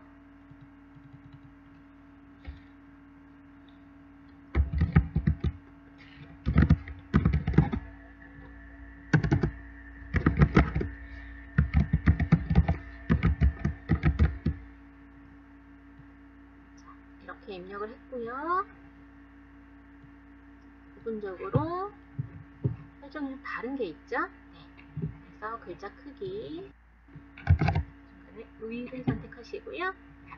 글자 크기와 색상도 바꿔보도록 하겠습니다. 자, 0이 6개는 뭐예요? black입니다. 그래서 하단의 모서리 부분을 클릭하시면 되겠습니다. 굳이 입력하지 마시고요. 네. 자, 그런 다음에 Warp Text를 적용을 하겠습니다. 스타일 눌러서요. 여기서 적용된 건 뭐죠, 여러분? 아크 블로우가 되겠습니다. 자, 이런 식으로. 선택이 일부 되어 있어도 이거는 해당 문자 layer 전체에 적용이 되는 거기 때문에 어, 워텍스트는 바로 적용되는 걸 확인하실 수가 있습니다. 기본 Bend 값이 50인데요. 너무 좀 심하게 구부러져 있죠? 그래서 그런 모양에 맞게 구부러진 형태 좀 조정을 해주죠. 그래서 Bend는 40%로 지정하고 OK를 눌러주겠습니다. 자, 그리고 이제 Layer Style 적용하시면 되겠습니다. 글자의 가독성 입혀주셔야 되겠죠? 네. 그래서 Stroke를 설정합니다. 픽셀 그리고 F가 6개는 흰색입니다. 왼쪽 상단 모퉁이 클릭해서 바로 적용하시면 되겠고요. 그 다음에 그림자 효과 Drop Shadow 적용하겠습니다. 자, 글자 크기랑 보시면서 Size, Distance 조정하시면 되겠습니다. 이렇게 해서 하단에 위치 이동하실 때는 언제든지 글자 중에 마우스 클릭하시고요. 이렇게 이동해서 보시면 되겠습니다. 자, 키패드에 엔터 눌러주시면 글자에 대한 설정 완료가 됩니다. 자, 이제 태양초 고추장이라고 하는 문자를 입력할 패스선을 어, 여기에 이제 먼저 그려주셔야 됩니다. 자, 무엇으로요? 펜툴로 요. 펜툴 선택합니다. 그리고 위에 패스를 지정을 하셔야 되겠습니다.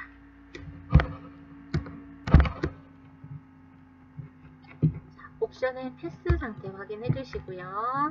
이미지를 좀 확대를 해서 진행하도록 하겠습니다. 시작되는 시작 위치 잘 잡아주세요. 글자의 시작점에 잡아주시면 되겠습니다. 자, 클릭하고요. 열린 곡선 패스를 그려주시면 되겠습니다. 자, 이렇게 해서 곡선 path 그렸습니다. 열린 path기 때문에 끝점 만나면 안 되겠죠. 네. 자, 그리고 어, 일러스트처럼 어, Type on a Path Tool이 없는데 어떻게 하나요? Horizontal Type Tool 선택하고요. 여러분이 패스에 마우스를 이렇게 올려놓게 되면 어때요? 커서 모양 바뀌는 거 확인되시죠? 네. 자, 열린 path 왼쪽 위치에 자, 이렇게 언어 패스툴일 때 적용했던 거 기억하시면서 네, GTQ 일러스트 주식하신 분들은 다 알고 계시죠? 네. 자, 클릭을 합니다. 그러면 어때요? 이 곡선을 따라서 글자가 배치가 되는 걸 확인하실 수가 있죠. 네, 문서입니다. 24포인트입니다. 그리고요, 왼쪽에서부터 입력이 될 거니까 여기에 Left Align Text에 체크되어 있나 한번 확인해 보시면 되겠고요. 자, 그리고요. 영문 입력 모드로 전환을 하시고요. 색상 코드값 입력을 해주면 되겠습니다. 자, 그리고 여기에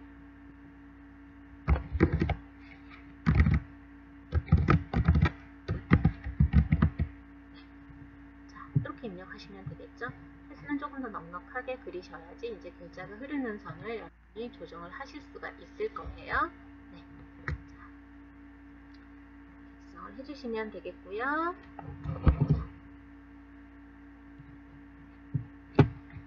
네, Layer Style 적용을 하시면 되겠습니다. 예, Drop Shadow 적용하시면 됩니다. 자, 글자 영역에 Drop Shadow 적용될 때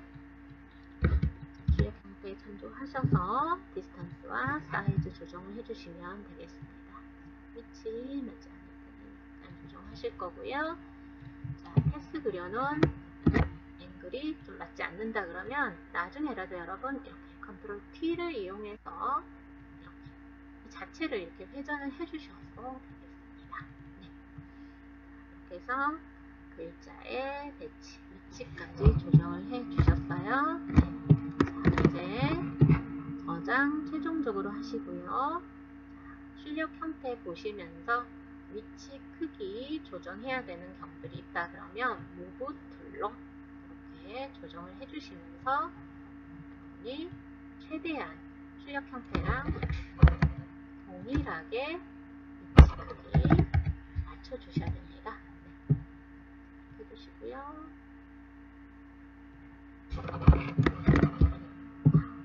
그 다음에 안내선을 그래서 격자 리드를 가려주시면 되겠습니다. 자, 최종적인 저장은요. 지금 여러분 임시로 하고 있는 원본 파일이고요. 이제 중요한 거는 정답 파일을 감독한 PC로 전송할 수 있는 경로 그리고 확장자 이 상태로 만들어 주셔야겠죠. 일단 JPEG을 먼저 저장을 해주시면 되겠습니다. Save As 자, 지금 말씀드리고 있지만 버전에 따라서 Save As에 파일 형식 눌렀을 때 JPEG이 뜨지 않는 수가 있습니다. 이럴 때는 이 대화 상자에 Save a Copy 사본 저장 버튼 누르시거나 아니면 파일에서 Save a Copy로 바로 들어가시면 되겠습니다. 자, 이렇게 하신 후에 파일 형식 바꿔주시면 파일 이름 뒤에 .jpg라고 붙고요. 자, 그리고 어디에 저장하시는 거예요? 내 PC 문서 이 경로에 저장하셔야 돼요. GTK 폴더 이 안에 저장을 하실 거예요. 이때 오타가 있다거나 손번호가 틀리면 또 전송이 되지 않습니다. 다시 한번 최종적으로 여러분 확인을 해 주십시오. 저장 누릅니다. JPEG은 옵션이 뜹니다. 자, 이미지 퀄리티를 어떻게 할 것이냐 하이 퀄리티 하시면 팔이 지정되는 걸 확인하실 수가 있습니다. 자, JPG 저장했고요. 자, 이제 10분의 1 크기로 줄어든 PSD 저장을 차립니다. 이미지에 이미지 사이즈 클릭해서 두개 링크가 되어 있을 때 미스 혹시 입력하시면 하이트 40개죠. 이렇게 줄여서 어디에요? Save as 문서 GTK 폴더를 열어서 이곳에 저장을 하시면 되겠습니다. 자, 4번 문제까지 끝났으면 이제 포토샵을 종료하고요. 바탕화면에 답안 전송 프로그램 이용하셔서 1번에서 4번까지 총 8개의 파일을 다시 한번 감독과 PC로 전송을 합니다. 자, 그리고 어, 시험 종료하고 나오기 전에 나오기 전에 감독관님께 여쭤봅니다. 손번호 몇 번, 답안 전송 제대로 되어 있는지 확인 부탁드립니다. 라고 말씀하시고 확인하셔야 됩니다.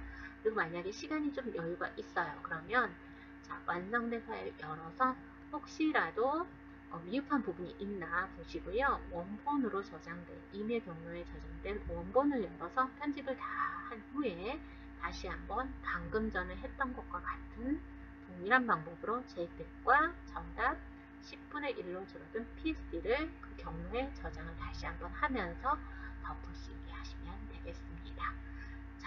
여기까지 해서 4번 문제 마무리하도록 하겠습니다. 수고 많으셨습니다. 감사합니다.